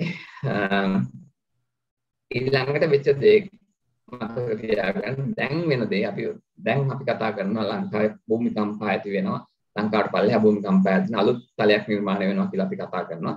ඒකට හේතුව තමයි ඇත්තරම මේ හිමාලය දැන් අපි අපහු ගිහලා බැලුවොත් එහෙම මම ඔයගලන්ට පොඩක් Google Earth එකට ගිහිල්ලා එන්නම්. වෙලාව ඉක්මනට යන හින්දා. දැන් ඔයගලන්ට පේනවා මෙතන තියෙනවා ඇත්තරම අර mid ocean ridges තුනක්. 1 2 3 මේ දෙකෙන් මේ දෙකේම අලුත් ක්‍රස්ට් එක හැදෙනවා. හැදෙනකොට මේ ක්‍රස්ට් එක මෙතන අලුතෙන් හැදෙනවා ඒ හැදෙනකොට මේක උඩහට තල්ලු වෙනවා මේ පුෂ් පුෂ් වෙනවා උඩහට ඉන්දියන් ප්ලේට් එක පුෂ් වෙනවා. හැබැයි සබ්ඩක්ෂන් වෙන්නේ මෙතනින් විතරයි. මෙතනින් තවදුරටත් මේ මේක දැන් ඉන්දියාව උඩහ හැපිලා ඉවරයි. රෂ්‍යාව කියන්නේ ඒෂියන් කන්ටිනන්ට් එකට හැපිලා ඉවරයි. ඒක හින්දා තවදුරටත් මේ හිමාලය හිමාලය ඉස්සෙනවා. හිමාලය ඉස්සුනාට මේ එන පුෂ් එක මෙතනින් එන බලය මෙතෙන්ට දරා ගන්න බෑ. ඒක හින්දා මොකද වෙන්නේ මේ හරියේ මේ හරියේ ඕෂනික් ක්‍රස්ට් එක බෙන්ඩ් වෙලා මේ හරියේ භූමිකම්පා ඇති වෙනවා මේ හරියේ ඕෂනික් ක්‍රස්ට් එක ක්‍රැක් වෙලා තියෙනවා. ඒ ක්‍රැක්ස් දිගේ මූව් වෙනවා. ඒක හින්දා භූමිකම්පා ඇති වෙනවා ඒක හින්දා අපි විශ්වාස කරනවා මෙන්න මේ කොටසේ. ඇත්තටම ඉස්සරහට අලුත් භූතලයක් නිර්මාණය වෙයි කියලා. මේ හරියේ භූමිකම්පා ඇති වෙනවා නමුත් මේ භූමිකම්පා ලංකාවට ලොකුවට දැනෙන්නේ නැහැ. මේ හරියට භූමිකම්පා ඇති වෙනවා නමුත් ඒවත් ලොකු භූමිකම්පා නෙමෙයි මොකද මේවා අර සබ්ඩක්ෂන් සෝන්ස් වල වගේ ලොකුවට මේ තල තල මේ කියන්නේ තාලයක් විදිහට ගමන් කිරීමක් වෙන්නේ නැහැ. එහෙම වෙලා තල මායිමක් ඇති වෙනවා. එහෙනම් ප්ලේක් බවුන්ඩරියක් ඇති වෙන තව අවුරුදු මිලියන ගාණක් යනවා. ඒක හින්දා ඒ සම්පූර්ණයෙන්ම මේ මේ මේ මෙතෙන්දි වෙන ඉන්දුනීසියාවල වෙනවා වගේ ඒ වගේ ලොකු භූමිකම්ප ඇති වෙන්නේ නැහැ. නමුත් අර අවසාදිත තෙරපීම හින්දා එහෙම නැත්නම් අවසාදිත අර ෆෝල්ට් දිගේ ෆ්‍රැක්චර්ස් දිගේ මේවා මූව් වෙන හින්දා පොඩි පොඩි භූමිකම්පා ඇති වෙනවා. ඒකෙන් තමයි ඔයගලන්ට භූමිකම්පා එන්නේ සැරෙන් සැරේට මේ මේ මේ කොටසේ ඉන්දියානු සාගරයේ විශේෂයෙන් මේ හරිය එනවා. මේ හරිය දැන් අපිට තියෙනවා. ඒවෙන් ලොකු හානියක් වෙන්නේ නැහැ. ඒකින්ද ලොකු අපි ඒ ගැන ලොකුවට බය වෙන්න අවශ්‍යතාවයක් නැහැ කියලා තමයි මට කියන්න තියෙන්නේ. ඊට පස්සේ අපි ආයි මෙතනට ගියොත් දැන් මම කිව්වා එතකොට මේ මේ කලාපය තමයි අපි ඔය අලුත් ප්ලේට් බවුන්ඩරි එක විදිය ප්ලේට් එක විදියට අඳුරගෙන තියෙන මේකට අපි කියන ඩිෆියුස් ප්ලේට් එකක් කියලා. මේක පැහැදිලි නෑ මායිම් පැහැදිලි නෑ. මේ අර වගේ තල මායිමක් නෑ මේ වගේ. ඒකින්ද මේක ඩිෆියුස් ප්ලේට් කියලා අපි නම් කරන්නේ. කැප්‍රිකන් ප්ලේට් කියලා නමකුත් දාලා තියෙනවා. එතකොට මේ හරිය තමයි මේ කහ පාටින් තියෙන හරිය තමයි අලුත් ප්ලේට් එක විදියට ගණන් ගන්න. ඒක දැනටත් වෙන් කළා තියෙනවා මේ භූවිද්‍යාඥයෝ ඉන්දියානු ඉන්දියානු තලය. කලින් කිව්ව ඉන්දු ඕස්ට්‍රේලියානු තලය කියලා. දැන් ඒක ඉන්දියානු තලය ඕස්ට්‍රේලියානු තලය විදියට දෙකකට කඩලා තියෙනවා. අපි දැන් ලංකාවට එමු. ලංකාවට ආවහම ලංකාවේ දැන් අපි කතා කරපු හයිලන්ඩ් විජයන් හයිලන්ඩ් විජයන් 1 කොටස් තුන දැන් හැදිලා ඉවරයි. ඊට පස්සේ මෙතන තව දේවල් වෙනවා. Uh, ප්‍රධාන වෙන දෙයක් තමයි මේ ජුරසික් කාලේදී. ජුරසික් කාලය කියන්නේ අවුරුදු මිලියන 130යි 125යි ඔයගේ කාලය ඇතුළත මම කිව්වා ඉන්දියාව ඉන්දියාවෙන් ලංකාව වෙන් වෙනවා කියලා. ඒතර ෆෝක් සමුද්‍ර සංධිය හරහා ඉන්දියාවෙන් ලංකාව වෙන් වෙනවා. හැබැයි වෙන්වීම දිගටම තියෙන්නේ නැහැ. ඒකත් රිෆ්ටිං අර සවුත් ඇමරිකා ඇෆ්‍රිකාවල වගේ රිෆ්ටිං වෙන්නේ. හැබැයි ඒ රිෆ්ටිං අපි කියන ෆේල් රිෆ්ට් එකක් කියලා. මොකද ෆේල් රිෆ්ට් එකක් කියලා කියන්නේ ඒක දිගටම කන්ටිනියු වෙන්නේ නැහැ. ඒක දිගටම සිද්ධ වුණා. ඒක මග නැවතුණා. අපි ඒක න ෆේල්. එහෙම වුණා නම් අපි ඉන්දියාවෙන් ඈත් වෙලා ඉන්දියානු සාගරේ පල්ලෙහාට යනවා. ඒක හොඳ නරකද කියලා කියන මම දන්නේ ඒක ඔයගොල්ලන් බාරයි. නමුත් කොහොම හරි අපි මග නැවතිලා ඉන්දියාවෙන් කිලෝමීටර් 12ක් ඈත් වෙලා නැවතිලා ඉන්නවා. ඒ ඒ වෙච්ච වැඩේදී අපි දැන් මේ ජුරසික් බෙඩ්ස් අපි මේ තම් ඔයගොල්ලන් තම්බෝය ගියොත් තම්බෝය වැවේ පල්ලෙහා බන්ට් එකෙන් පල්ලෙහා මේ ජුරසික් පීරියඩ් එකට ආйти මේ අවසාදිත පාෂාණ තියෙනවා. එතකොට මම ජුරසික් බෙඩ්ස් ගැන කතා කරද්දී මෙතන දැන් මේවා හැදුනේ අත්‍තරම අවුරුදු මිලියන 152යි 139 අතර කාලයේදී. මෙන්න මේ කාලෙදී. ඒ කාලෙදී මේ සී ලෙවල් එක ලෝකේ සී ලෙවල් එක බලුවොත් ඒ කාලේ සී ලෙවල් එක අඩු කාලයක්. දැන් අපි බැලුවොත් එහේ අවුරුදු මිලියන 500 600ක් කාලේ අපේ මේ ලංකාව පැවතිච්ච කාලේ බැලුවොත් ඒ ලංකාව පැවතිච්ච කාලේ ගොඩක් හරියේ. මේක ඉතාම වැදගත්. මම මේ මේ ටික ඉතාම වැදගත් ඔයගලන් අහගන්න. ලංකාව පැවතිච්ච කාලේ ගොඩක් හරියේ සී ලෙවල් එක මේ මේ මුල් කාලේ මම කියන්නේ අවුරුදු මිලියන 50ක් වෙනකම් විතර කාලේ මුල් කාලේදී මේ කාලේ සම්පූර්ණයෙන්ම සී ලෙවල් එක ගොඩක් වැඩි. අවුරුදු මිලියන මේ කියන්නේ සාමාන්‍යයෙන් ඔයගලන් බලන්න මේ තියෙන ප්‍රසන් සී ලෙවල් එක බිඳුව කියන්නේ මීටර් 200කට වැඩි වෙච්ච අවස්ථා තියෙනවා. සාමාන්‍ය මීටර් 100කට නම් වැඩි. එතකොට ඔයගලන් හිතා ගන්න පුළුවන් ලංකාවේ භූමිය කොච්චර ප්‍රමාණයක් මුහුදෙන් යට වෙලා තිබුණාද කියලා. මීටර් 100ක් කියලා කිව්වොත් එහෙනම් සාමාන්‍යයෙන් අඩි 1000ක්. අඩි 1000ක් කියලා කියන අපි කෑගල් හරියට නිකන් විතර අපේ ෆස්ට් පෙනි ප්ලේන් එක හැම පිටින්ම මුහුදෙන් යට වෙලා තිබුණේ මේ අවුරුදු මිලියන සාමාන්‍යයෙන් අවුරුදු මිලියන 50ක් විතර නිකන්. හැබැයි මෙන්න මේ කාලෙදී මෙන්න මේ අවුරුදු මිලියන 300යි සාමාන්‍ය 200යි වගේ කාලෙදී මුහුද මට්ටම ටිකක් කියන්නේ සමහර වෙලාවට මේ දැන් තියෙන මට්ටමකට පල්ලෙහාට ගියා මීටර 50ක් විතර පල්ලෙහාට ගියා. ඊට අමතරව සමහර කාලවලදී දැන් තියෙන මට්ටමේ පැවතුණා. මේ කාලෙදී ඊට පස්සේ මේ තියෙන ඇත්තටම මේ මේ කාලේ ඊට අමතරව ඊට පස්සේ මේ ජුරසික් පීරියඩ් එකේදීත් මෙහෙම මුහුද මට්ටම දැන් තියෙන මට්ටමට වඩා පොඩ්ඩක් පල්ලෙහාට ගිහිලා තියෙනවා. ඒ කාලෙදී තමයි මේ ඉන්දියාවයි ලංකාවයි රිෆ්ටිං වෙන්නේ. දැන් එතකොට මේ අපි තබ්බෝව ආණ්ඩිගම් පල්ලම කියලා මේ තුනේම තියෙනවා. මෙයාගේ ජුරසික් පීරියඩ් පීරියඩ් එකට අයිති සෙඩිමෙන්ටරි රොක්ස්. ඒව හැදුනේ කොහොමද කියලා අපි බැලුවොත් එහෙම මේ තියෙන්නේ ඒ කාලෙදී මේ ලංකාව මෙන්න මේ මේක තමයි ෆේල් රිෆ්ට් එක මේ තියෙන ඉන්දියාව ලංකාව මේ මේ රිෆ්ටිං වෙන්න පටන් ගන්නවා. මේ රිෆ්ටිං වෙනකොට මෙතන හැදෙනවා මේ වගේ නිම්න. අර මං කිව්වේ දැන් ඇෆ්‍රිකාවල අර වැලීස් හැදෙනවා කියලා රිෆ් වැලීස් ඒ වගේ වැලීස් හැදිලා තියෙනවා මේ හරිය. නිම්න හැදිලා තියෙනවා. ඒවැ මේ එන සෙඩිමන්ට්ස් තැම්පත් වෙලා තියෙනවා. එතකොට මේ තියෙන්නේ ජුරසික් අර වල හැදිච්ච අපේ අවස මේ මේ තබ්බෝ ආණ්ඩිකම පල්ලම ඒ ඒ ඒ ජුරසික් සෙඩිමන්ට් තැම්පත් වෙච්ච ඒ ද්‍රෝණිය. එහෙම නැත්නම් බේසින් එක. ඒ බේසින් එකේ මේ කාලෙදී සෙඩිමන්ට්ස් ඇහිලා තියෙනවා. තැන්පත් වෙලා තියෙනවා. එතකොට මේක වෙලා තියෙන්නේ අත්‍තරම ඉන්දියාවයි ලංකාවයි වෙන් වෙන්න පටන් ගන්න තියෙන්නේ අපි ඇන්ටාර්ක්ටිකා වලින් වෙන් වෙන කාලය වගේම තමයි. ඒ ඒ කාලෙත් තමයි මේක වෙලා තියෙනවා. අපි මේ මේ මේ සෙඩිමන්ට්ස් වලට කියනවා සින් සින් රිෆ්ට් සෙඩිමන්ට්ස් කියලා. සින් රිෆ්ට් කියන්නේ රිෆ්ටිං වෙනකොට ආපු සෙඩිමන්ට්ස්. මේ සයිස්මික් ප්‍රොෆයිල් එකක්.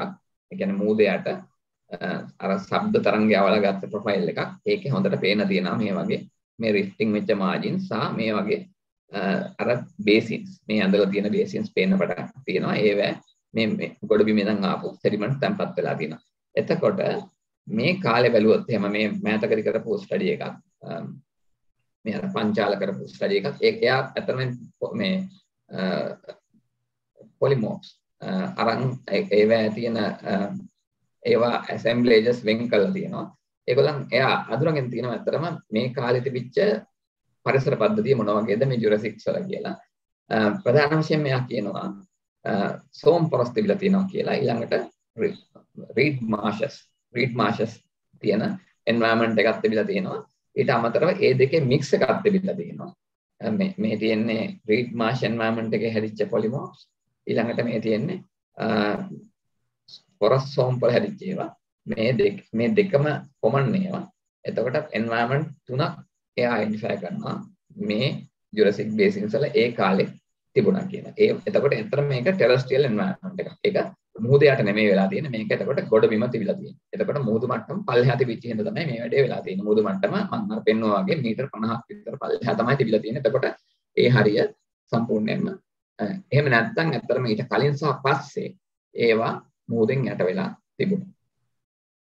ඊට පස්සේ ඊළඟට එනවා අපි මයෝසින් කාලය ගැන ඒක ඉතා වැදගත් මයෝසින් කාලෙදී අපේ ලංකාව ආයි මංගලන් පෙන්නවා දැන් මුහුද මුහුදෙන් යට වෙනවා දැන් මේ මයෝසින් කාලේ සී ලෙවල් එක අපි කතා කළොත් එහෙම මයෝසින් පීරියඩ් එක තමයි මේ තියෙන මයෝසින් පීරියඩ් එකේ සී ලෙවල් එක මීටර් 20ක් 30ක් විතර උඩට යනවා එතකොට මෙන්න මේ කොටසයි මේ කොටසයි මේ මිනිහාගල් කන්ද කියන ප්‍රදේශයයි මුහුදෙන් යට වෙලා ඒ විතර නෙමෙයි වටේම යට වෙනවා වටේම යට වුණාට අපේ සෙඩිමන්ට්ස් ඉතුරු වෙලා තියෙන්නේ මේ ටිකේ විතරයි. ඒකට හේතුව මම කියන්න දන්නේ නැහැ. ඇත්තටම කියනවා නම් ඒක ඊටම වැදගත් දෙයක්. කොහොම හරි මේ මේ මේ කොටසේ මේ හරිය ගොඩක් වෙලාවට ගැඹුරු ප්‍රදේශයක් වෙන්න ඇති කියලා මම විශ්වාස කරනවා. ඒ කියන්නේ මේ රිෆ්ටිනුත් එක්ක ආපු ගැඹුරු වීමක් තියෙන ඇති. මිනිහාගල් කන්ද ගැන වෙනම කතාවක් තියෙනවා. මට ඔක්කොම කියන්න වෙලාවක් නැහැ අතරම කියනවා නම්. මිනිහාගල් කන්දෙත් එහෙම එහෙම ද්‍රෝණියක් බේසින් එකක් තියෙනවා කියලා මම වැඩ කරද්දි මට දැන් දැනගන්න මට මගේ පරීක්ෂණ වලින් මට හොයාගන්න පුළුවන් වෙලා තියෙනවා. අපි ඒක ඉස්සරහට වැඩ කරගෙන යනවා. මෙතන කලින් ඇරිච්ච රිෆ් බේසින් එක තිබුණා. මේකේ මයෝසින් කාලේදී මේ මුහුදු මට්ටම වැඩි කාලේදී හුණු ගල් තැන්පත් වුණා. Calcium carbonate. ඔයගලන්ට මේ තියෙන අතර මේ ළඟදී ආපු පේපර් එකක් රොයිට 2021 මේ අප්‍රේල් මාසේ ආපු පේපර් එකේ තියෙනවා මේ අතරම මයෝසින් කාලෙදී ලංකාවේ මුහුදු මට්ටමත් එක්ක හැඩය ඔයගලන්ට පේනවා ඊට පස්සේ මේ ලෑන්ඩ් ඊට පස්සේ මයෝසින් මයෝසින් කාලේ අතරම තුන් පාරක් විතර මුහුදු මට්ටම ඉහළ පහළ ගිහිලා තියෙනවා ඒ අද්දි මේ ලෑන්ඩ් ඊට පස්සේ මේ ලෑන්ඩ් බ්‍රිජ් එක හැදෙනවා එක් කාලයකදී ආපහු මේ අනිත් කාලෙදී මේ වගේ සම්පූර්ණයෙන්ම යට වෙනවා. එතකොට මේ ටිකේ තමයි අපේ ඔය තැම්පත් වෙලා තියෙන්නේ හුණුග. ඒ ඒ ටිකයි මේ හැටිය. මේ හැරිය තැම්පත් වෙලා නැහැ. මං හිතන්නේ ඒකට හේතුව භූමි මට්ටම් බැලුවොත් එහෙම එලිවේෂන් එක මේ හැරියේ වැඩි ඇති සමහර වෙලාවට මේ හැරියට වඩා ඒකින්ද වෙන්න පුළුවන් මේ වැඩේ වෙලා තියෙන්නේ. මට ඒක හරියටම අපිට කියන්න තරම් පරීක්ෂණ කළා නැහැ අපි. කොහොම හරි මේ මේ කලාපේ ලයිම්ස්ටෝන් නැහැ. ලයිම්ස්ටෝන් තියෙන්නේ මේ ටිකේ මේ ටිකේ විතරයි. එහෙම නැත්නම් හැදිලා සමහරට ඉරෝඩ් වෙලා ගිහිලා වෙන්නත් පුළුවන්. ඒක මම කියන්න දන්නේ. අපි බැලුවොත් එහෙම ඊළඟට දැන් මේ මයෝසින් කාලේදී මේ සින් සී ලෙවල් එක ඔයගොල්ලන්ට පේනවා. සී ලෙවල් එක තුන් පාරක් මෙහෙම වැඩි වෙලා තියෙනවා. ඒ තුන් පාරෙදි මුහුදු මට්ටමට වැඩි වෙලා තියෙනවා. අනිත් කාලවලදී මුහුදු මට්ටමට වඩා අඩු වෙලා තියෙනවා. ලෑන්ඩ් බ්‍රිජ් එක හැදිලා තියෙනවා. එතකොට මේ ඒ කාලෙත් තැම්පත් වෙච්ච තමයි මේ තියෙන්නේ. මේ කාලෙදි තමයි ලංකාවේ හෙමිඩැක්ටයිලස් මේ එහෙම හුණු ලංකාවට ඉන්දියාවෙන් මයිග්‍රේට් වෙලා තිනවා කියලා අපි මාදවල හැම වැඩ කළා හොයාගෙන තියන්නේ මේ කාලේදී. ඔය ඇත්තටම මේ මේ පීරියඩ් එකේදී සමහර ගෙම්බන් විශේෂ, සමහර කූණන් විශේෂ, ඒ වගේ මම හිතන ඇගමිස්ලා අපිට ගොඩක් ඒ ගැන වැඩ කරන්න තියෙනවා. මේ මයෝසින් පීරියඩ් එකේදී ලංකාවට ඇහිලා ඊට පස්සේ වෙච්ච කියන්නේ කාලගුණ වෙනස් වීම සහ ලංකාවේ ඇතුළේ වෙච්ච භූවිෂමතා පරිණාමයත් එක්ක වෙච්ච හුදකලා වීම හින්දා අයිසොලේෂන් හින්දා එන්ඩමික් වෙලා තියෙනවා ලංකාව ඇතුලේ ඒගොල්ලෝ. ඉතින් මේක ඇත්තටම ඉතාම වැදගත් කතාවක්. මෙතන මේක ඒක ඇත්තටම ලොකු ලොකු කතාවක් තියෙනවා. එතන බයෝජියෝග්‍රැෆි මම ඒක ගැන කතා කරන්න යන්නේ නැහැ. නමුත් අපිට මේ ඔක්කොම එකතු කරලා ඒක ඒ ඒ ඔක්කොම එකතු කරලා බලුවම තමයි මේ සම්පූර්ණ කතාව අපිට ගොඩනගා ගන්න පුළුවන් වෙන්නේ බයෝජියෝග්‍රැෆි ගැන. ඔයගලන්ට මම හිතන්නේ මේක හොඳ අයි ඕපන එකක් වෙයි. ඉස්සරහට බයෝජියෝග්‍රැෆි ගැන වැඩ කරන කට්ටියට. මේ මයෝසින් ටිවෙන්ට් එකේදී දැන් ඊට පස්සේ ඒ අතරමැද ජුරැසික් වලින් නම් මයෝසින් වෙනකන් අපිට කියන්න සාධක නැහැ. ඒකින් තමයි මම ඒ ගැන කතා නොකරන්නේ. ඊට පස්සේ මයෝසින් වලින් පස්සේ ආපහු අපි එන්නේ කොටනරි පීරියඩ් එකට. ඇත්තටම එතකන් අපිට අපේ සාධක නැහැ. මොනවාක්වත් අවසාදි සාධකවත් නැහැ. මොකද උනේ කියලා කියන්නේ. එතකොට ඒ ඊට පස්සේ කොටනරි පීරියඩ් එකේ සෙඩිමන්ට්ස් අපේ ලංකාවේ ගොඩක් තැන්වල තියෙනවා. ඒ ඒ කාලය ඇතුළත උදාහරණයක් විදිහට දැන් අපි ප්‍රෝටෝනික් පීරියඩ් එක ගැන කතා කරන්නේ මෙන්න මෙතන ඉඳන් අවුරුදු මිලියන 2.4ක ඉඳන්. හරි. දැන් එතන මයෝසින් තිබුණේ අවුරුදු මිලියන 5.3ක් වෙනකම්. මෙන්න මේ අතරමැද ප්ලයෝසින් පීරියඩ් එකේ මොකද වුනේ කියලා කියන්න අපිට එවිඩන්ස් නැහැ. මේ ජුරැසික් වල ඉඳන් ඒ කියන්නේ අවුරුදු මිලියන 145ක විතර ඉඳන් අවුරුදු මිලියන 23ක් යනකම් අතරමැද කාලේ අපිට කිසි එවිඩන්ස් එකක් නැහැ මොකද වුනේ කියලා කියන්නේ. හරි. ඒක මතක තියාගන්න. ඊට පස්සේදී දැන් අපිට මම ගොඩක් ඒවා කියන්නේ නැහැ අපිට ගොඩක් ඩිපොසිට්ස් තියෙනවා. උදාහරණයක් විතර මේ අයිලන්ඩ්ස් මම අයිලන්ඩ්ස් ගැන වැඩ කරලා තියෙන හින්දා මම ඔයගලන්ට අයිලන්ඩ්ස් හැදිච්ච හැටි ගැන කියන්නම්. මට ඒක ඒක ඉන්ටරෙස්ටිං හින්දා. ඊට අමතරව ලංකාව වටේම තියෙනවා ඔය මේ අපි කෝස්ටල් සෝන් එකේ ගොඩක් තැන්වල තියෙනවා මේ මේ පීරියඩ් කොටනරි පීරියඩ් එකේ ඩිපොසිට් වෙච්ච සෙඩිමන්ට් ප්ලයිස්ටෝසීන් පීරියඩ් එකේ ඩිපොසිට් වෙච්ච සෙඩිමන්ට් තියෙනවා. හොලෝසීන් පීරියඩ් එකේ ඩිපොසිට් වෙච්ච සෙඩිමන්ට් තියෙනවා. ඔගොල්ලෝ දන්නවා එන්වයරන්මන්ට් ගැන වැඩ කරන අය ආකියොලොජි කරන අය ඔගොල්ලෝ දන්නවා රත්නපුර බේසින් එකේ තියෙනවා ගොඩක් වෙලාවට මේ මේ ප්ලයිස්ටෝසීන් පීරියඩ් එකේ තැන්පත් වෙච්ච සෙඩිමන්ට්ස්. එතකොට ඇත්තටම මම වැඩ කළා තියෙන රත්නපුර බේසින් එකේ gem pixel samples maximum age එක මට හම්බෙලා තියෙන අවුරුදු මිලියන අවුරුදු 74000ක් විතර. හැබැයි ගොඩාක් සෙඩිමන්ට්ස් ගොඩක් තැන්වල රත්නපුර බෙඩ් එකේ බේසින් එකේ තියෙන්නේ අවුරුදු 23000 25000 ඒ වගේ කාල තමයි තියෙන්නේ ගොඩක් තැන්වල. නමුත් සමහර තැන්වල අවුරුදු 75000ක් විතර යනකම් ගැඹුරු කියන්නේ සෙඩිමන්ට් තැන්පත් වෙච්ච තැන් තියෙනවා රත්නපුර ද්‍රෝණියේ. ඒවා ඇත්තටම ප්ලයිසෝසීන් පීරියඩ් එකේ ඒ ඔක්කොම කොටනරේ. මම රත්නපුර බේසින් එක ගැන කතා කරන්න යන්නේ නැහැ. නමුත් මේ අයිලන්ඩ් අයිලන්ඩ්ස් ගැන කතා කරන්න ඊට අමතරව ඔය කෝස්ටල් සෝන් එකේ තියෙන ඒවා ගැන කෙටියෙන් කියන්න. මේ අයිලන්ඩ්ස් බැලුවොත් හැම මේ ජැෆ්නා අයිලන්ඩ්ස් මේවා හරිම ඉන්ටරෙස්ටිං. දැන් ඔයගලන්ට මේ කචටිව් අයිලන්ඩ් එක. දැන් මේවා ඇත්තටම මේවා ඔයගලන් බැලුවොත් මේ තියෙන්නේ පහුගිය අවුරුදු 450000 දී සී ලෙවල් වෙනස් වෙච්ච හැටි. එතකොට සී ලෙවල් එක ඉහළ පහළ ගිහිලා තියෙනවා. මෙතන මේ තියෙන්නේ බිඳුව. එයා බිඳුවට වඩා මේ මේ මුළු පීරියඩ් එකේම සී ලෙවල් එක තිබිලා තියෙන්නේ ගොඩක් වෙලාවට බිඳුවට වඩා පල්ලෙහා. ඒ කියන්නේ සී ලෙවල් එක පල්ලෙහා කියලා කියන්නේ මේ කාලේදී ලංකාව ඉන්දියාව අතර ලෑන්ඩ් බ්‍රිජ් එක ගොඩක් වෙලාවට තිබිලා තියෙනවා. සමහර කාලවලදී අරෙන්න. දැන් මෙන්න මේ මේ පීරියඩ් එක බැලුවොත් මෙන්න මේ අවුරුදු මිලියන සාමාන්‍ය 100 ඇත්තටම 100 118ක් විතර වෙන්න ඕනේ මේක. 118ක් විතර last glacial period last interglacial period එකේදී සී ලෙවල් එක වැඩි වුණා.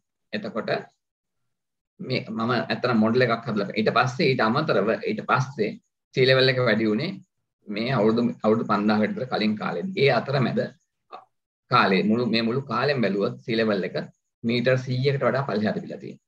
හරි මේ ලාස්ට් ඉන්ටර් ග්ලේෂියල් පීරියඩ් එකේදී මීටර් 100කට වඩා පල්ලෙහාට තිබිලා තියෙනවා. එතකොට ඉන්දියාවයි අපි අතර ලෑන්ඩ් බ්‍රිජ් එක තිබුණා. ඊට කලින් ලෑන්ඩ් බ්‍රිජ් එක නොතිබිච්ච කාලේ තිබුණේ ඔය මම කියන ලාස් ඉන්ටග්ලේශල් පිරෙඩ් එක එතකොට ඒ කාලෙදී දැන් වගේ මේ ග්ලේෂියස් දිය වෙලා තිබුණේ. අපි දැනට ග්ලේෂියස් තියෙනවා. මම කියන්නේ ග්ලේෂියස් මේ ඉන්ටග්ලේෂ ග්ලේෂියල් පිරෙඩ් එකේදී ග්ලේෂියස් ගොඩක් දුරට වර්ධනය වුණා. දැන් උදාහරණයක් විදිහට උතුරු ඇමරිකානු මහද්වීපේ කැනඩාව ඇමරිකාවෙන් පල්ලෙහා ඇමරිකාවේ මැද හරියට නිකන් ග්ලේෂියස් වර්ධනය වුණා. ඊට පස්සේ යුරෝපයේ ගොඩක් කොටසක් ග්ලේෂියල් වලින් වැහුණා. ඊට පස්සේ සයිබීරියාවේ රෂ්‍යාවල භාගයක් විතර ග්ලේෂියල්ස් වලින් වැහුණා එතකොට ඒ අපි කතා කරන්නේ ග්ලේෂියල් පීරියඩ් එක ගැන. එතකොට ග්ලේෂියල් පීරියඩ් එකේ ඒ ඒ ග්ලේෂියර්ස් හැදෙන්න වතුර මූදේ වතුර වැය වෙනවා. එතකොට ඒ වතුර ලොක් වෙනවා ග්ලේෂියර්ස් වල. එතකොට මූදු මට්ටම පල්ලෙහාට යනවා. එතන මූදු මට්ටම පල්ලෙහාට ගිහිල්ලා කන්ටිනෙන්ටල් අපේ ෂෙල්ෆ් එක ගත්තොත් එහෙම ඔයගොල්ලන් දන්නවා කන්ටිනෙන්ටල් ෂෙල්ෆ් එක මහද්වීපික තටකය. ඒක එහෙම් පිටින්ම මතු වෙනවා. එතකොට අපේ ලංකාවේ භූමි ප්‍රමාණය අර මම දැන් මයෝසින් කාලේදී අඩු වෙනවා කිව්වා වගේ ඒ කාලේදී වැඩි වෙනවා. එතකොට තව කිලෝමීටර් සාමාන්‍යයෙන් 20ක් විතර වෙනකන් ලංකාව වටේම මුහුදු මේ මේ මතු වෙලා තිබිලා තියෙනවා. ඔය කියන කාලය ඇතුළත මේ පහුගිය මේ මේ ගොඩක් කාලවලදී මේ පහුගිය අවුරුදු මිලියන 450 බැලුවොත් මේ මේ මේ පීරියඩ්ස් වල ඇරෙන්න හැමතිස්සෙම සී ලෙවල් එක මුහුදු මට්ටම අඩුයි ඔයගලන්ට පේනවා. එතකොට ෂෙල්ෆ් එක එක්ස්පෝස් වෙලා තිබිලා තියෙනවා. ලෑන්ඩ් බ්‍රිජ් එක තිබිලා තියෙනවා. හරිද? සත්තු එහාට මෙහාට ගිහිල්ලා තියෙනවා. ඒක වැදගත් බයෝජියෝග්‍රැෆි ගැන කතා කරා. එතකොට මේ කාලය ගත්තොත් එහෙම මේ කාලෙදී මුහුදු මට්ටම වැඩි වෙලා තිබෙනවා. එතකොට අපි මේ මම අපි හදපු මොඩල් එකක් මේ තියෙන්නේ. අපි කතා කළා මයෝසීන් පීරියඩ් එකේදී මේ ජැෆ්නා පැත්තේ ලයිම්ස්ටෝන් ඩිපොසිට්ස් වුණා. ලයිම්ස්ටෝන් ඩිපොසිට් වුණා, කැල්සියම් කාබනේට් ඩිපොසිට් වුණා, ෂැලෝ හොට් ටෙම්පරේචර් එකක් තියෙන මූදේ කැල්සියම් කාබනේට් ප්‍රෙසිපිටේට් වුණා. ප්‍රෙසිපිටේට් වෙලා හැදුනා මේ වගේ අයිලන්ඩ්ස් ඊට පස්සේ මේ ඉන්ටර්ග්ලේෂියල් පීරියඩ් එකේදී ලාස් ඊට පස්සේදී ඇත්තටම ගත්තොත් මේ මේක ලාස් ඉන්ටර්ග්ලේෂියල් පීරියඩ් එකේදී ආයි මේක යට වුණා. එතකම් මේවා මතුවෙලා තිබුණා. ඒ අතරමැද මයෝසින් වල ඉඳන් ඔයගලන් පේන්නේ නැති මුද මට්ටම් පල්ලෙහාට කියලා තිබුණා. ඒතර මේ මතුවෙලා තිබුණා. ඊට පස්සේ ඉන්ටර්ග්ලේෂියල් පීරියඩ් එකේදී අවුරුදු මිලියන 110යි 120යි ওই කාලෙදී මේවා අපව යට වුණා. යට වුණාම මේ අර තිබිච්ච මයෝසින් මේ ඔක්ක උඩ කොරල්ස් හැදෙන්න පටන් ගත්තා. හරි? කොරල්ස් කොරල් රීෆ්ස් හැදුනා. ඊට පස්සේ ආපහු ඊළඟට ආයි මොකද උනේ? ආයි සී ලෙවල් එක පල්ලෙහාට ගියා. හරි මේ තියෙන අයිලන්ඩ් දෙකක් අපි මේ කතා කරන ඩෙල්ෆ් අයිලන්ඩ් එකයි පොඟුරු දිව අයිලන්ඩ් එකයි මේ දෙකට හද මොඩල්ස් දෙකක් මේ තියෙන්නේ. එතකොට මේ කාලෙදී මේ ඉන්ටර්ග්ලේෂියල් පීරියඩ් එකේ මේක කොරල්ස් හැදෙනවා ඊට පස්සේ ආපහු සී ලෙවල් එක පල්ලෙහාට යනවා ග්ලේෂියල් පීරියඩ් එකේ. එතකොට මේ මේව ඔක්කොම ඉරෝඩ් වෙලා යනවා. ඉරෝඩ් වෙලා ගිහිල්ලා ඊළඟට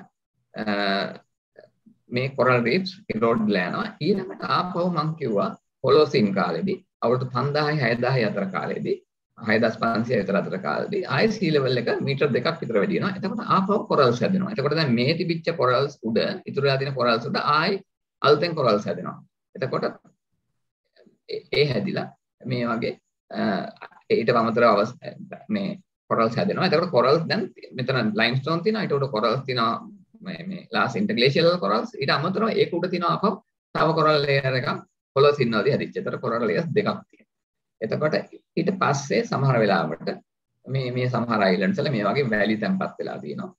එතකොට මේ වගේ සක්සෙෂන් එකක් අපිට දකින්න පුළුවන් මේ අයිලන්ඩ් ඩෙවලොප් වෙච්ච හැටි ගැන. මේ ඉන්ටග්ලේෂල් මේ මේ මේ මේ පහුගිය කාලය ඇතුළත මේ ජැෆ්නා වල තියෙන මේ අයිලන්ඩ්ස් ටික. සමහර අයිලන්ඩ් සම්පූර්ණයෙන්ම මේ තුනම දකින්න පුළුවන්. සමහර ඒවා මේ කාලෙදි විතරක් හැදිච්ච ඒවා. සමහර ඒවා හොලෝසින් වලින් විතරක් හැදිච්ච ඒවා. එක එක කාලවලදී හැදිච්ච අයිලන්ඩ්ස් තියෙනවා ජැෆ්නා පෙනින්සියුලා එකේ. දැන් ඊට අමතරව අපිට තියෙන රෙඩ් අර්ත් විල්පත්තුව මේවත් අතරම කොටනරි පීරියඩ් එක විදිහට අපි ගණන් ගන්නෙ.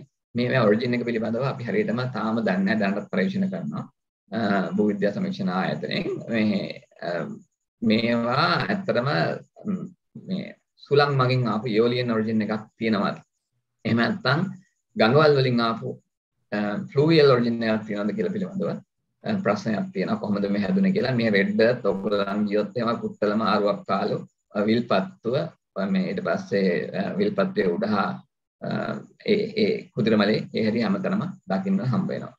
ඊට අමතරව තියෙන වැලි කඳු ඒ ඔක්කොම ඇත්තටම හොලෝසීන් ඩිපොසිට්ස් ඊළඟට මම ඔයගලන්ට කියවුවා මේ අවුරුදු මේ 5000ක් විතර ඇතුළත මේ මේ 5000යි 6500 විතර ඇතුළත සී ලෙවල් එක වැඩි වෙලා තියෙනවා කියලා. ඒ කාලෙදී අපේ දකුණු ප්‍රදේශය බැලුවොත් එහෙම දකුණු ප්‍රදේශයේ ශ්‍රී ලංකාවේ ඉතුරු ප්‍රදේශවල වල ගොඩක් වෙලාවට මීටර් දෙකක සී ලෙවල් එකක් වැඩිලා තියෙනවා. මේ උගලන්ට පේන මීටර් දෙකක් විතර වැඩිලා තියෙනවා. ඒ මීටර් දෙකක් වැඩි වුණාම අපේ කෝස්ට් එකේ ඉඳන් මීටර් දෙකක් මේ උසට තියෙන ප්‍රමාණය හැම්පිටින් මූදෙන් යට වුණා.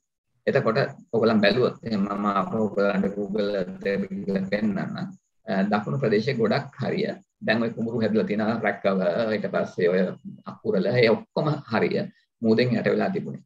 ඊට පස්සේ ඒ කාලේදී ඒවා කොරල් හැදුනා. ඒවා විශාල මේ මොනවාද බේස් එහෙම නැත්නම් බොකු බවට පත් වුණා. එතකොට ඒවා කොරල් හැදුනා. එතකොට ඔය අකුරල පැත්තේ තියෙන ඉන්ලන්ඩ් කොරල් ඩිපොසිට්ස් හැදුනේ ඔය හොලොසින් පීරියඩ් එකේ හොලොසින් හයි ස්ටෑන්ඩ් එකේදී.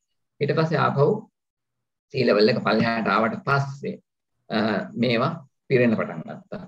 මම ඊට පස්සේ දැන් අපි ගොඩක් වෙලාවට කුඹුරු එහෙම කරන්නේ. අපි ඒ වගේ තැන්වල. එතකොට ඔය ටික තමයි මට දැන් මෙතෙන්ද කියන්න තියෙන්නේ ප්‍රධාන වශයෙන්ම ජියොලොජිකල් එවොලුෂන් ගැන. මම ඊළඟට යනවා ජියෝමෝර්ෆොලොජි ගැන. මම සමා වෙන්න වෙලාව ගියකට මේ පොඩ්ඩක් මම Google Earth එකට ගිහිල්ලා එන්නම් මේ කතන්දරේ මට ඉවර කරන්න ඕන හින්දා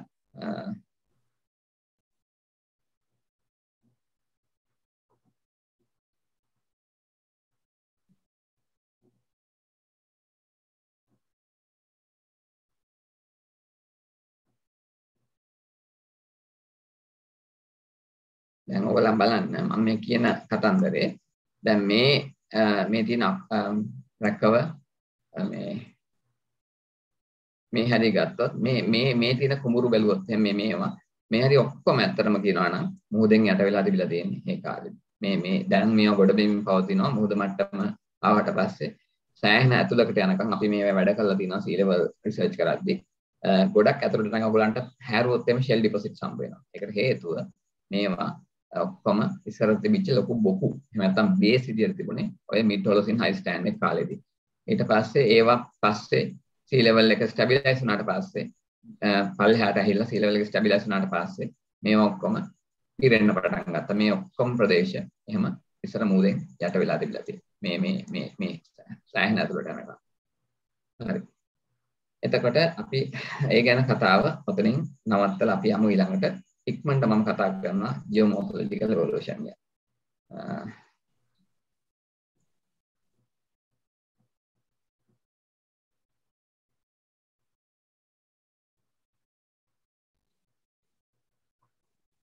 හරි ඕකේ.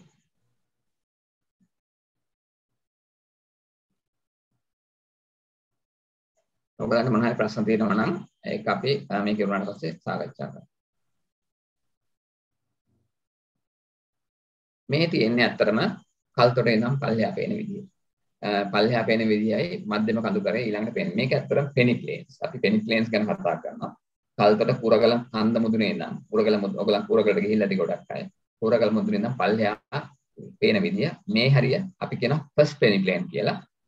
කල්තොට මේ සොරි කුරගල මම ඉන්න කල්තොට හරිය. සෙකන්ඩ් පෙනි ප්ලේන් මේ ඈත පේන කපුතලේ හරිය.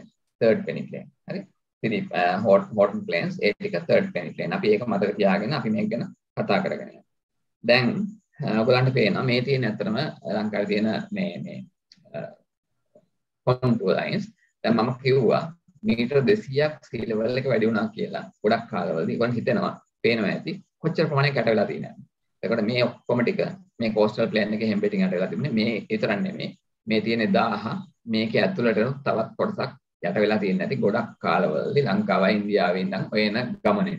එතකොට අපේ ලංකාවේ මේ කොටස විතරයි ගොඩක් වෙලාවට ඉතුරු වෙලා තිබුණේ. එතකොට මට දැන් මෙතන තවත් කියන්න දෙයක් තියෙනවා. අපි ඒක ගැන කතා කරමු. දැන් ඇත්තරම මධ්‍යම කඳුකට ගත්තොත් අපිට ප්‍රධාන වශයෙන් මේ වගේ මේ ඇත්තරම භූෂමතාව ගත්තොත් එහෙම ලංකාවේ භූෂමතාව විශේෂයෙන්ම තීරණය වෙනවා. පාෂාණ වල ශක්තිය ඒ කියන්නේ පාෂාණ දිරා යාමට දක්වන ප්‍රතිරෝධය. ඊළඟට පාෂාණ මේ භූමියේ තියෙන පැලුම් හරි මතක තියාගන්න. වැදගත්ම දේවල්. ඊළඟට ක්ලයිමට් එක. හරි රේන්ෆෝල් එක. සී ලෙවල් එක. සහ ග්ලේෂියර්ස් ඔය ඔය කාරණා බලපානවා ලංකා භූවිෂමතාවය මේ භූවිෂමතාවය තීරණය කරද්දී. එතකොට මේක ගැන මුලින් මම කෙටියෙන් හඳුන්වනවා. සමහර පාෂාණ තියෙනවා ඒ වැය තියෙන ಖನಿජ සංයුතිය හින්දා ඒවා ජීර්ණය වෙන්න වෙදරින් වෙන්න ලේසි. එතකොට ඒවා ජීර්ණය වෙනවා. සමහර පාෂාණ උදාහරණයක් විදිහට අපි ගත්තොත් එහෙම ඔය කුණු ගල් වගේ පාෂාණ ජීර්ණය වෙන්න ලේසි. එතකොට ඒවා ඉක්මනට ජීර්ණය වෙලා යනවා. එහෙම නැත්නම් සමහර නයිස් පාෂාණ ඒවා ජීර්ණය වෙන්න ලේසි. හැබැයි ඔය චානකයිට් කියන කළු ගල් කියලා අපි සාමාන්‍යයෙන් හඳුන්වන කළු ගල් පාෂාණ ගත්තොත් එහෙම ඒවා ජීර්ණය වෙන්න අමාරුයි. ග්‍රැනයිට් ජීර්ණය වෙන්න අමාරුයි. ක්වාට්ස් ජීර්ණය වෙන්න අමාරුයි. ඒතර ඒ වගේ ඒවා ඉතුරු හරිය ජීර්ණ වෙලා යද්දී ඒවා කඳු නිර්මාණය කරනවා. මතක තියාගන්න. ඒවා කඳු නිර්මාණය කරනවා. ඊට අමතරව සමහර තැන් තියෙනවා ඒවැ භූමියේ පැලුම් තියෙනවා. මම ඊළඟ මැප් එකට ගියොත් එහෙම ඔයගලන්ට ගිහිල්ලා එන්නම් ආයි. දැන් මේ බැලුවොත් එහෙම මේ තියෙන්නේ ජියොලොජිකල් මැප් එකක්. මේ හොටන් ප්ලේන්ස් මේ හරිය තියෙන්නේ. මේ තියෙන්නේ පැලුම්. හරි. මේ ඉරියොරි ගහලා තියෙන පැලුම්. මේ දම් පාටින් තියෙන පාෂාණ ජීර්ණ වෙන්න අමාරුයි මේ චානකයි. ඊට පස්සේ සමය තැඹිලි පාටින් තියෙන ජීර්ණ වෙන්න ලේසි. හරි. සිලිමනයිට් නයිස් ඒ වගේ ඒවා. එතකොට මේ තියෙන කොම්පොසිෂන් එකත් එක්ක මේ ජීර්ණ වෙන්න අමාරු පාෂාණ තියෙනවා ලේසි පාෂාණ තියෙනවා සමහර ප්‍රදේශ තියෙනවා සමහර මේ වගේ පැලුම් තියෙන තැන් මොකද ඒවා අස්තෙන් වතුර ගිහිල්ලා පැලුම් තියෙනකොට පාෂාණ ජීර්ණය වෙන එක පහසු වෙනවා වෙදරින් වෙදරින් හොඳට වෙනවා එතකොට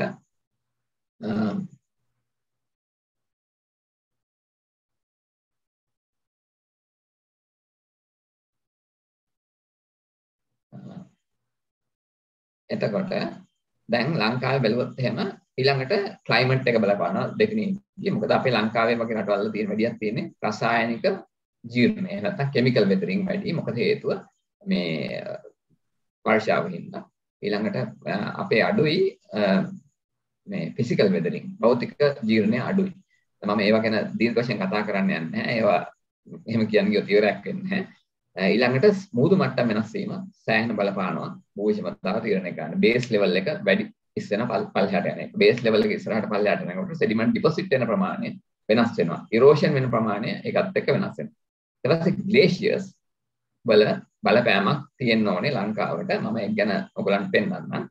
මොකද ලංකාව පල්ලෙහා තියෙන කාලෙදී ග්ලේෂියර්ස් වලින් වැහිච්ච තිබිච්ච පීරියඩ් එකක් තිබුණා ඒ කාලේ ඊට අමතරව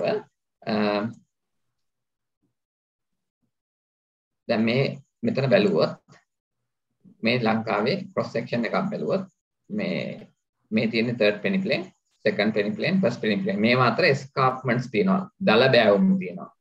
escarpments තියෙනවා. මේ තියෙන්නේ එහෙම හෝටන් ප්ලේන්ස් වල ඉඳන් මූදට යනකම් ඇන්දොත් එහෙම ක්‍රොස් සෙක්ෂන් එකක් කිරිගල් පොත්ත. මේ වර්ල්ස් and escarpment එක මේ කිරි කැටි ඔය වැලි එක ඔයගලන්ට පේනවා ඊට පස්සේ second peneplain එකේ මේ කල්තර escarpment එක ඊළඟට මේ මේ තියෙන first peneplain එක එතකොට second penny plane, first penny plane, third penny plane. ඊට පස්සේ දැන් මෙතනදී අපි කතා කරනවා sea level ගැන. මම sea level ගැන පෙන්නුවා. ඔයගලන්ට sea level ගොඩක් වෙලා ගොඩක් කාලෙදි වැඩි වෙලා තිබුණා. මේ glacial period වලදී sea level අඩුයි. මොකද ice හැදෙද්දි වතුර ice glaciers වල lock වෙන හින්දා sea level අඩු වෙනවා. මීටර් 50ක් විතර නිකන් පල්ලෙහාට ගිහලා තිබිලා තියෙනවා. Last glacial period එකේදී sea level එක මීටර් 100කට 120ක් විතර පල්ලෙහාට ගිහලා තිබිලා තියෙනවා. ඒ වගේම අනිත් කාලවලදී glaciers තිබිච්ච නැති කාලවලදී sea level එක මීටර් 200ක් විතර නම් උඩට ගිහිලා තියෙනවා. ඒක මතක තියාගන්න ඕන කාරණයක්. ඊට අමතරව මේ තියෙන්නේ glacial interglacial periods. හරි. එතකොට ඊළඟට ඊළඟ එක ගත්තොත්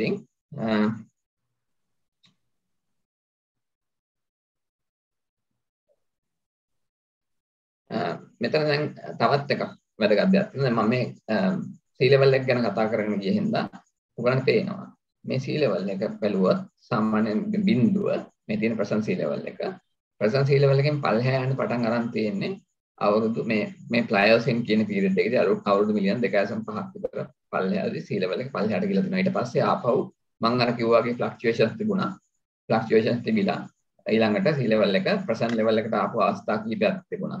Last interglacial period එක.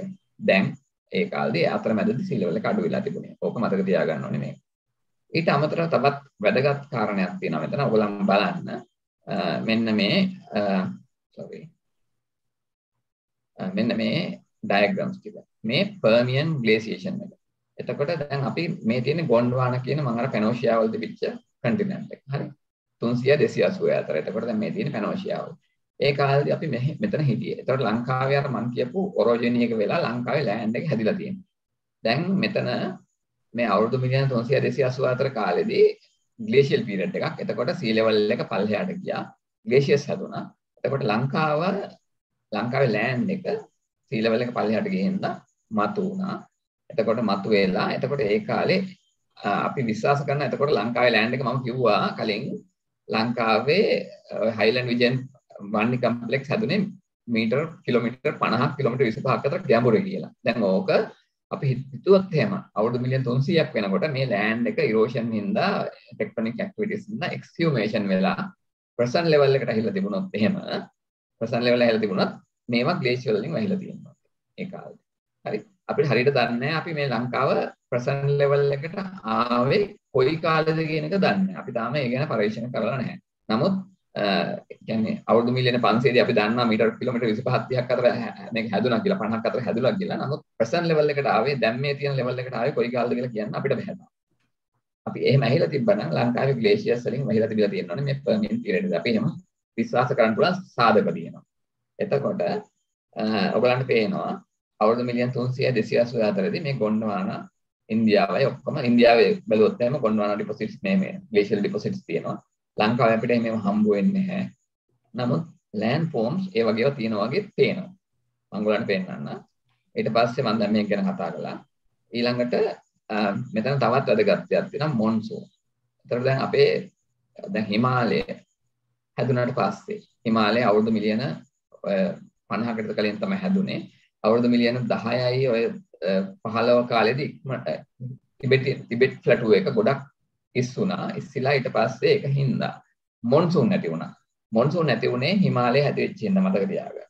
එතකොට දැන් අවුරුදු මිලියන 10යි මේ 8යි 10 අතර කාලෙදී මොන්සූන් නැති වුණා.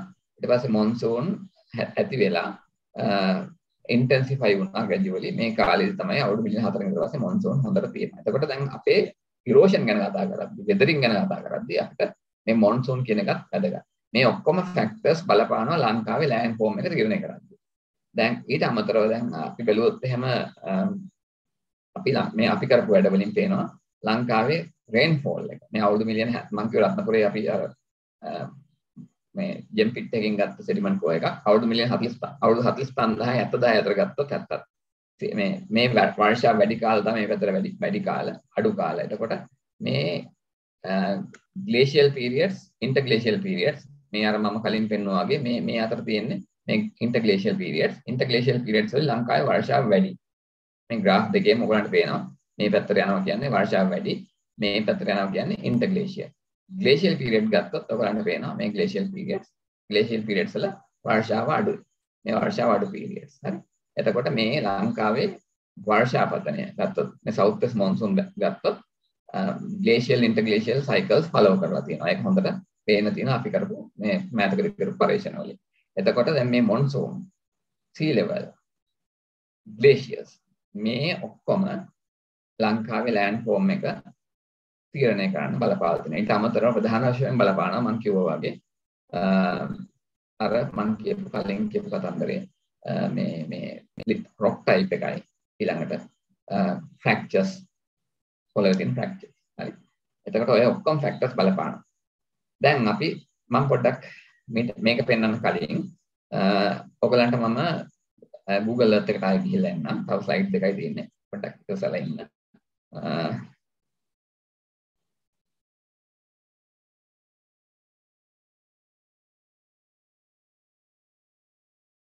දැන් බලන්න. මම ඔබලන්ව අරගෙන යනවා කිරිකැටියෝය වැලි එකට. හරි? මේ තියෙන හෝටන් ප්ලේන්ස්. හරි. මේ තියෙන හෝටන් ප්ලේන්ස් මේ කිරිකැටියෝ වැලි මේ කිරිකැටියෝ වැලි එක ඔයගොල්ලෝ බැලුවොත් මෙහෙම බැලුවට ඒක පේන්නේ නැහැ.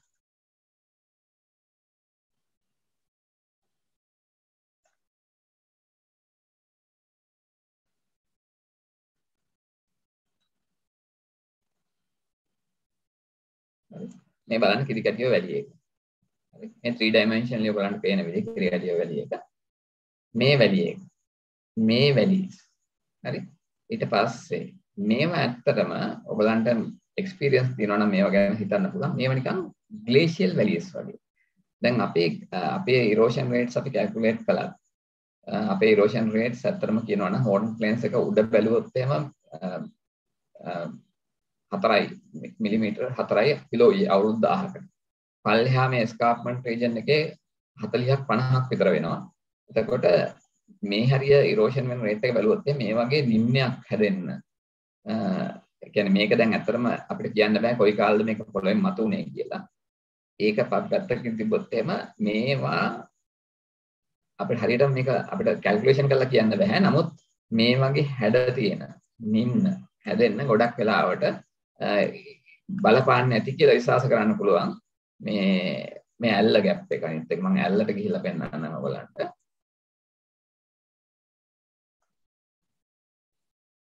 මේ බලන්න ඇල්ල වැඩි එක මේ මේ ඇල්ල.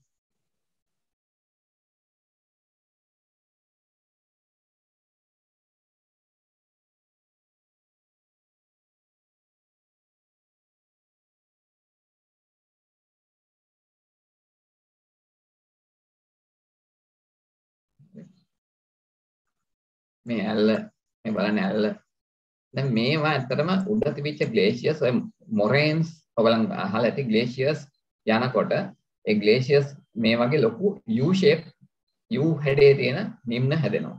ඒ වගේ නිම්න මේ හරිය තියෙනවා. ඇත්තට මේවා බැලුවොත් එහෙම ජියොලොජිකලි මේවා සම්බන්ධයක් තියෙනවා. මොකද මේවා ගොඩක් වෙලාට ෆ්‍රැක්චර් zones. නමුත් අපේ මේවා shape එක බැලුවොත් ඒවා මේවා erosion rates බැලුවොත් මට හිතෙනවා මේවට මේක හරියටම අපිට කියන්න තව සාධක මදි.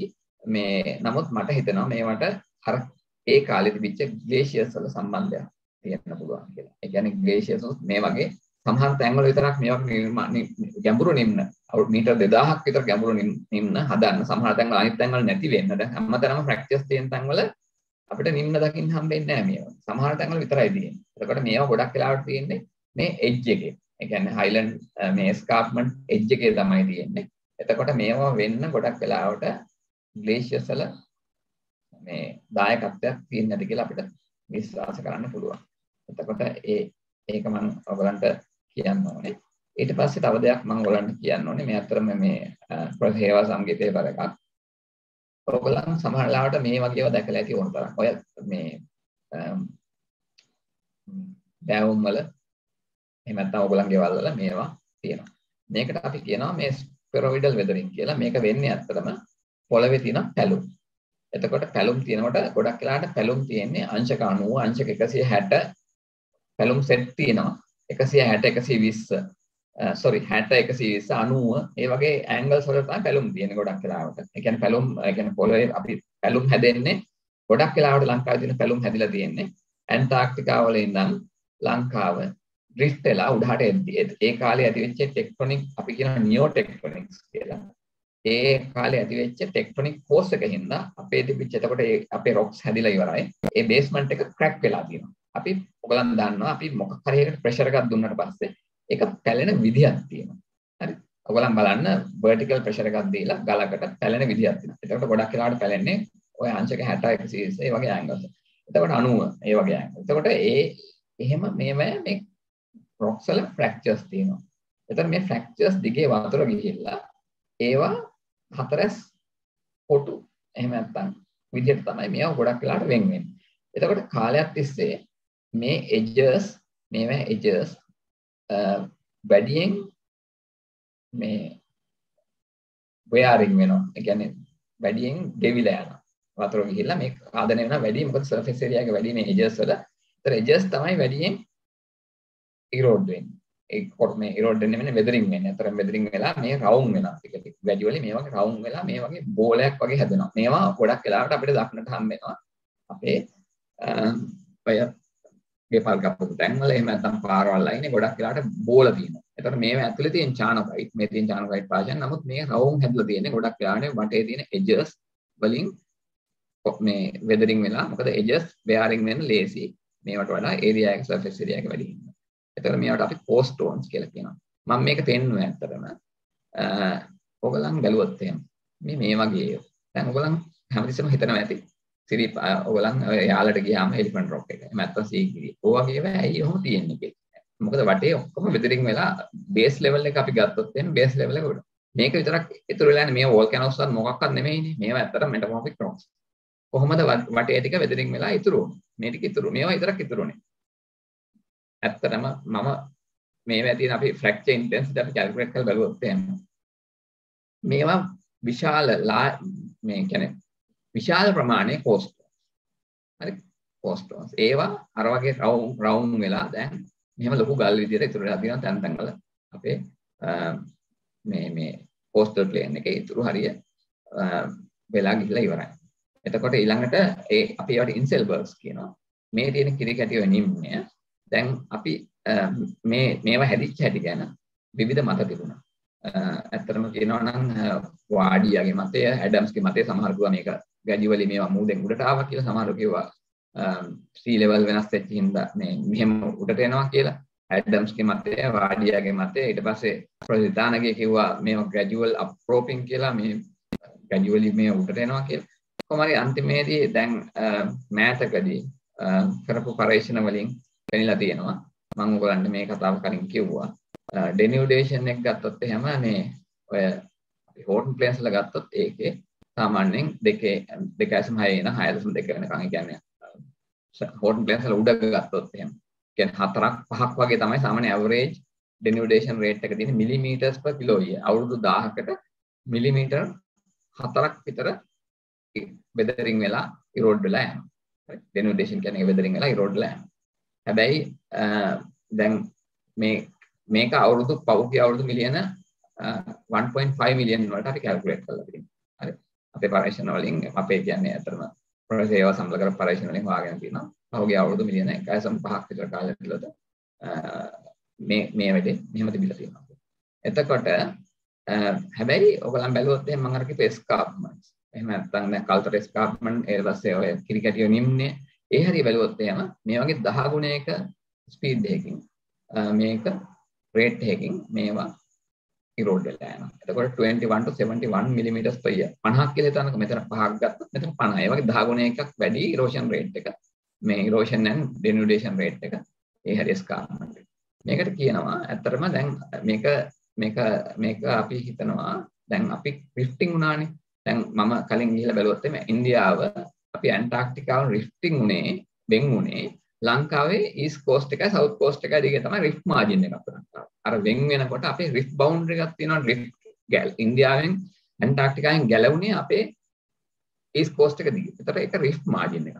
එතකොට රිෆ්ට් මාජින් එකක් වෙලා ඊට පස්සේ දැන් මේ දැන් සී ලෙවල් එක පල්ලෙහාට ගියාට පස්සේ ටික ටික ටික ටික අර උඩට තිබිච්ච ලෑන්ඩ් ෆෝම් එක ඉරෝඩ් වෙවි ඉරෝඩ් වෙවි ඇතුළට ඇතුළට යනවා. එතකොට ගිහිල්ලා ටික ටික ටික ටික දැන් මේ මේ මේ පිටිපස්සෙන් පිටිපස්සට පිටිපස්සෙන් පිටිපස්ස ඉරෝඩ් වෙවි යනවා. ඔයගලන්ට පේන එස්කාප්මන්ට් එක හරිය වැඩි ඉරෝෂන් රේට් එක උඩට වඩා. එතකොට මේ escarpment retreat escarpment rift parallel escarpment retreat වෙනවා. ඒකයි ඊස්ට් පැත්තේ සවුත් පැත්තේ අපිට එස්කාප්මන්ට් එකක් විශේෂයෙන් පැහැදිලිව පේන එස්කාප්මන්ට් එකක් දකින්න හම්බ වෙන කියලා මේ අලුත් හයිපොතීසිස් එකක් තියෙනවා.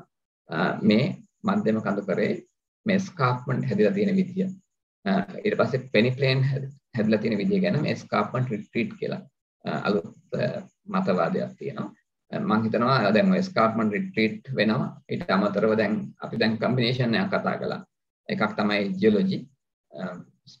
මේ ඊට පස්සේ මේ ෆ්‍රැක්චර්ස්, ග්ලේසියේෂන්, මේ ස්කාප්මන්ට් රිට්‍රීට්, ඩෙනියුඩේෂන් ඒවත් එක්ක මොන්සූනුත් එක්ක මේ හැදලා තියෙන ලෑන්ඩ් ෆෝම් එක අපි හැදලා තියෙන. ඒතර කෝස්ටල් ප්ලේන් එක සම්පූර්ණයෙන්ම වගේ ඉරෝඩ් වෙලා ගිහලා තියෙන. ඒවා අර කෝස්ටෝන්ස් වගේ ඒවා සමහර තැන්වල ඉතුරු වෙලා තිනවා. isolate ඊට අමතරව දැන් අපි ගත්තොත් එහෙම මම ආපහු Google Earth වලට යනවා අන්තිමට අන්තිම වතාවට. එතකොට ඒකින්ද හැදිලා තියෙනවා මේ මේ මේ ලෑන්ඩ් ෆෝම් එක අන්තිමේ ඩෙවලොප් වෙලා තියෙනවා. එතකොට මම පොඩ්ඩක් ආපහු ගිහිල්ලා එන්නම් Google Earth වලට අන්තිම පාරට මේ අපි කතාව ඉවර කරන්න කලින්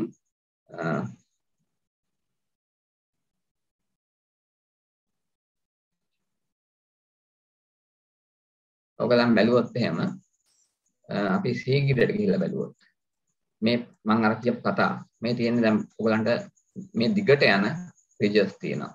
මේ දිගට යන රිජස් මේවා කඳු වැටි. මේවා ඇත්තටම ඔක්කොම බැලුවොත් එහෙම මේ අර වෙදරින් රෙසිස්ටන්ට් රොක්ස් තියෙන ක්වාර්ට්සයිට් තමයි ගොඩක් වෙලාවට මේ වගේ දිග සුදු සුදු කන්ද කියලා කියනවා ඔය මාතුරු ඔය ඒ පැත්තෙන් පොළොන්නරු යන සුදු කන්ද ඒ ඔක්කොම ක්වාර්ට්සයිට් දැන් සීගිරිය ගත්තොත් ඔයගොල්ලෝ. සීගිරිය බැලුවොත් සීගිරියේ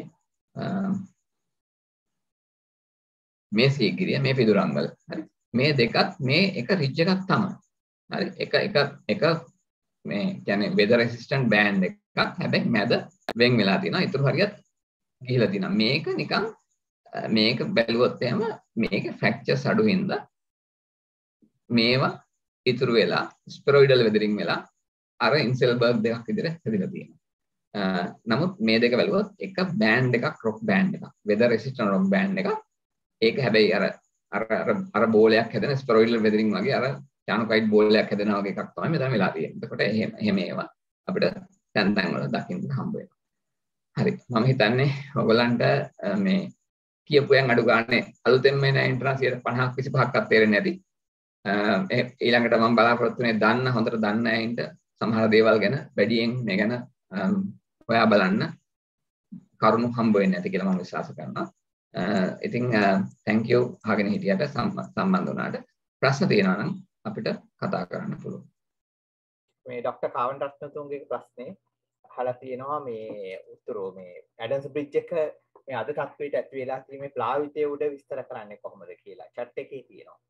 Can you explain the Portrait Bridge we see today in terms of these drifts? And you want to know the Adams Bridge, how the Adams Bridge was formed. Actually, um, it is uh, very difficult to explain um, because uh, now we have to study how the Adams Bridge and we have to study the fracture patterns and things like that. And uh, but I can see there are some saddle-like structures. If you go to that, uh, um, what is that, uh, Kunudiya you can see the Kunudiya Parvataya, and it has that unique shape like Sigiriya. So they are controlled by mainly by these fractures. But um, yesterday also I was thinking why the Adams Bridge is like this conical shape. It's like, you know, that it's like a horn. Uh, now horns are usually glacial, uh, has a has a glacial origin. I, I don't know, I'm, I can't say uh, Adams Bridge is formed because of glaciers, but that kind of unique sharp edges sharp peaks are formed at um, glacial landforms. I don't know because there is a glacial contribution, but I am sure that there are some locations in the Adams, Adams um, uh, that uh, Samanala Sripada range. There are some structures like uh, Bana Samanala, Kunudiya Parvataya. They are controlled by, you can see in Bana Samanala, there are there is a saddle-like structure. Punudiya Parvate is like Sigiriya-like structure. So they are controlled by definitely by fractures. Along the fractures, their erosion is high. So the that that structures have formed. Uh, I'm uh, actually I'm not sure about this Bayana Samanala. Bayana Samanala, I was thinking that that saddle shaped structure usually uh, forms because of faulting. I don't know whether there is faulting because we have to go there and see whether there are any evidences for that because that's a that's it within the peak wilderness area and I think nobody has done any geological uh, detailed geological survey. Without... I think more is more concerned about the Park Bridge, Adams Bridge. Park Ah, okay, okay, okay. Park I thought that Adams Peak. Sorry, sorry, sorry. Sorry, Park Strait uh, Bridge. Adams Bridge today yeah, yeah. of these drifts. Yeah, Adams Bridge is Adams Bridge is formed because of the sediment okay. transport. Actually, uh, in uh, Adams Bridge, you know there there are sediments are transporting in two directions. One is during the southwest monsoon period, sediment transports from south to north.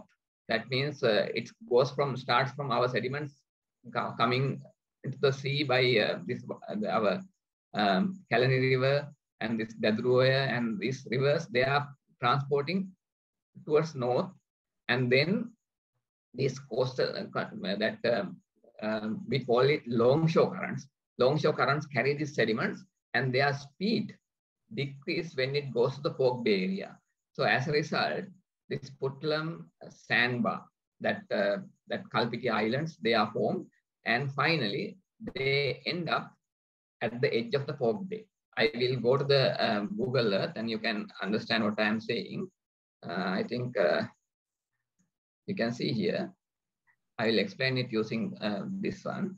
So the sediments, generating from this area um, flow northward and then when the speed is reduced these islands form okay? So you can see these are barrier islands. And then finally they goes along the shelf they goes to this area.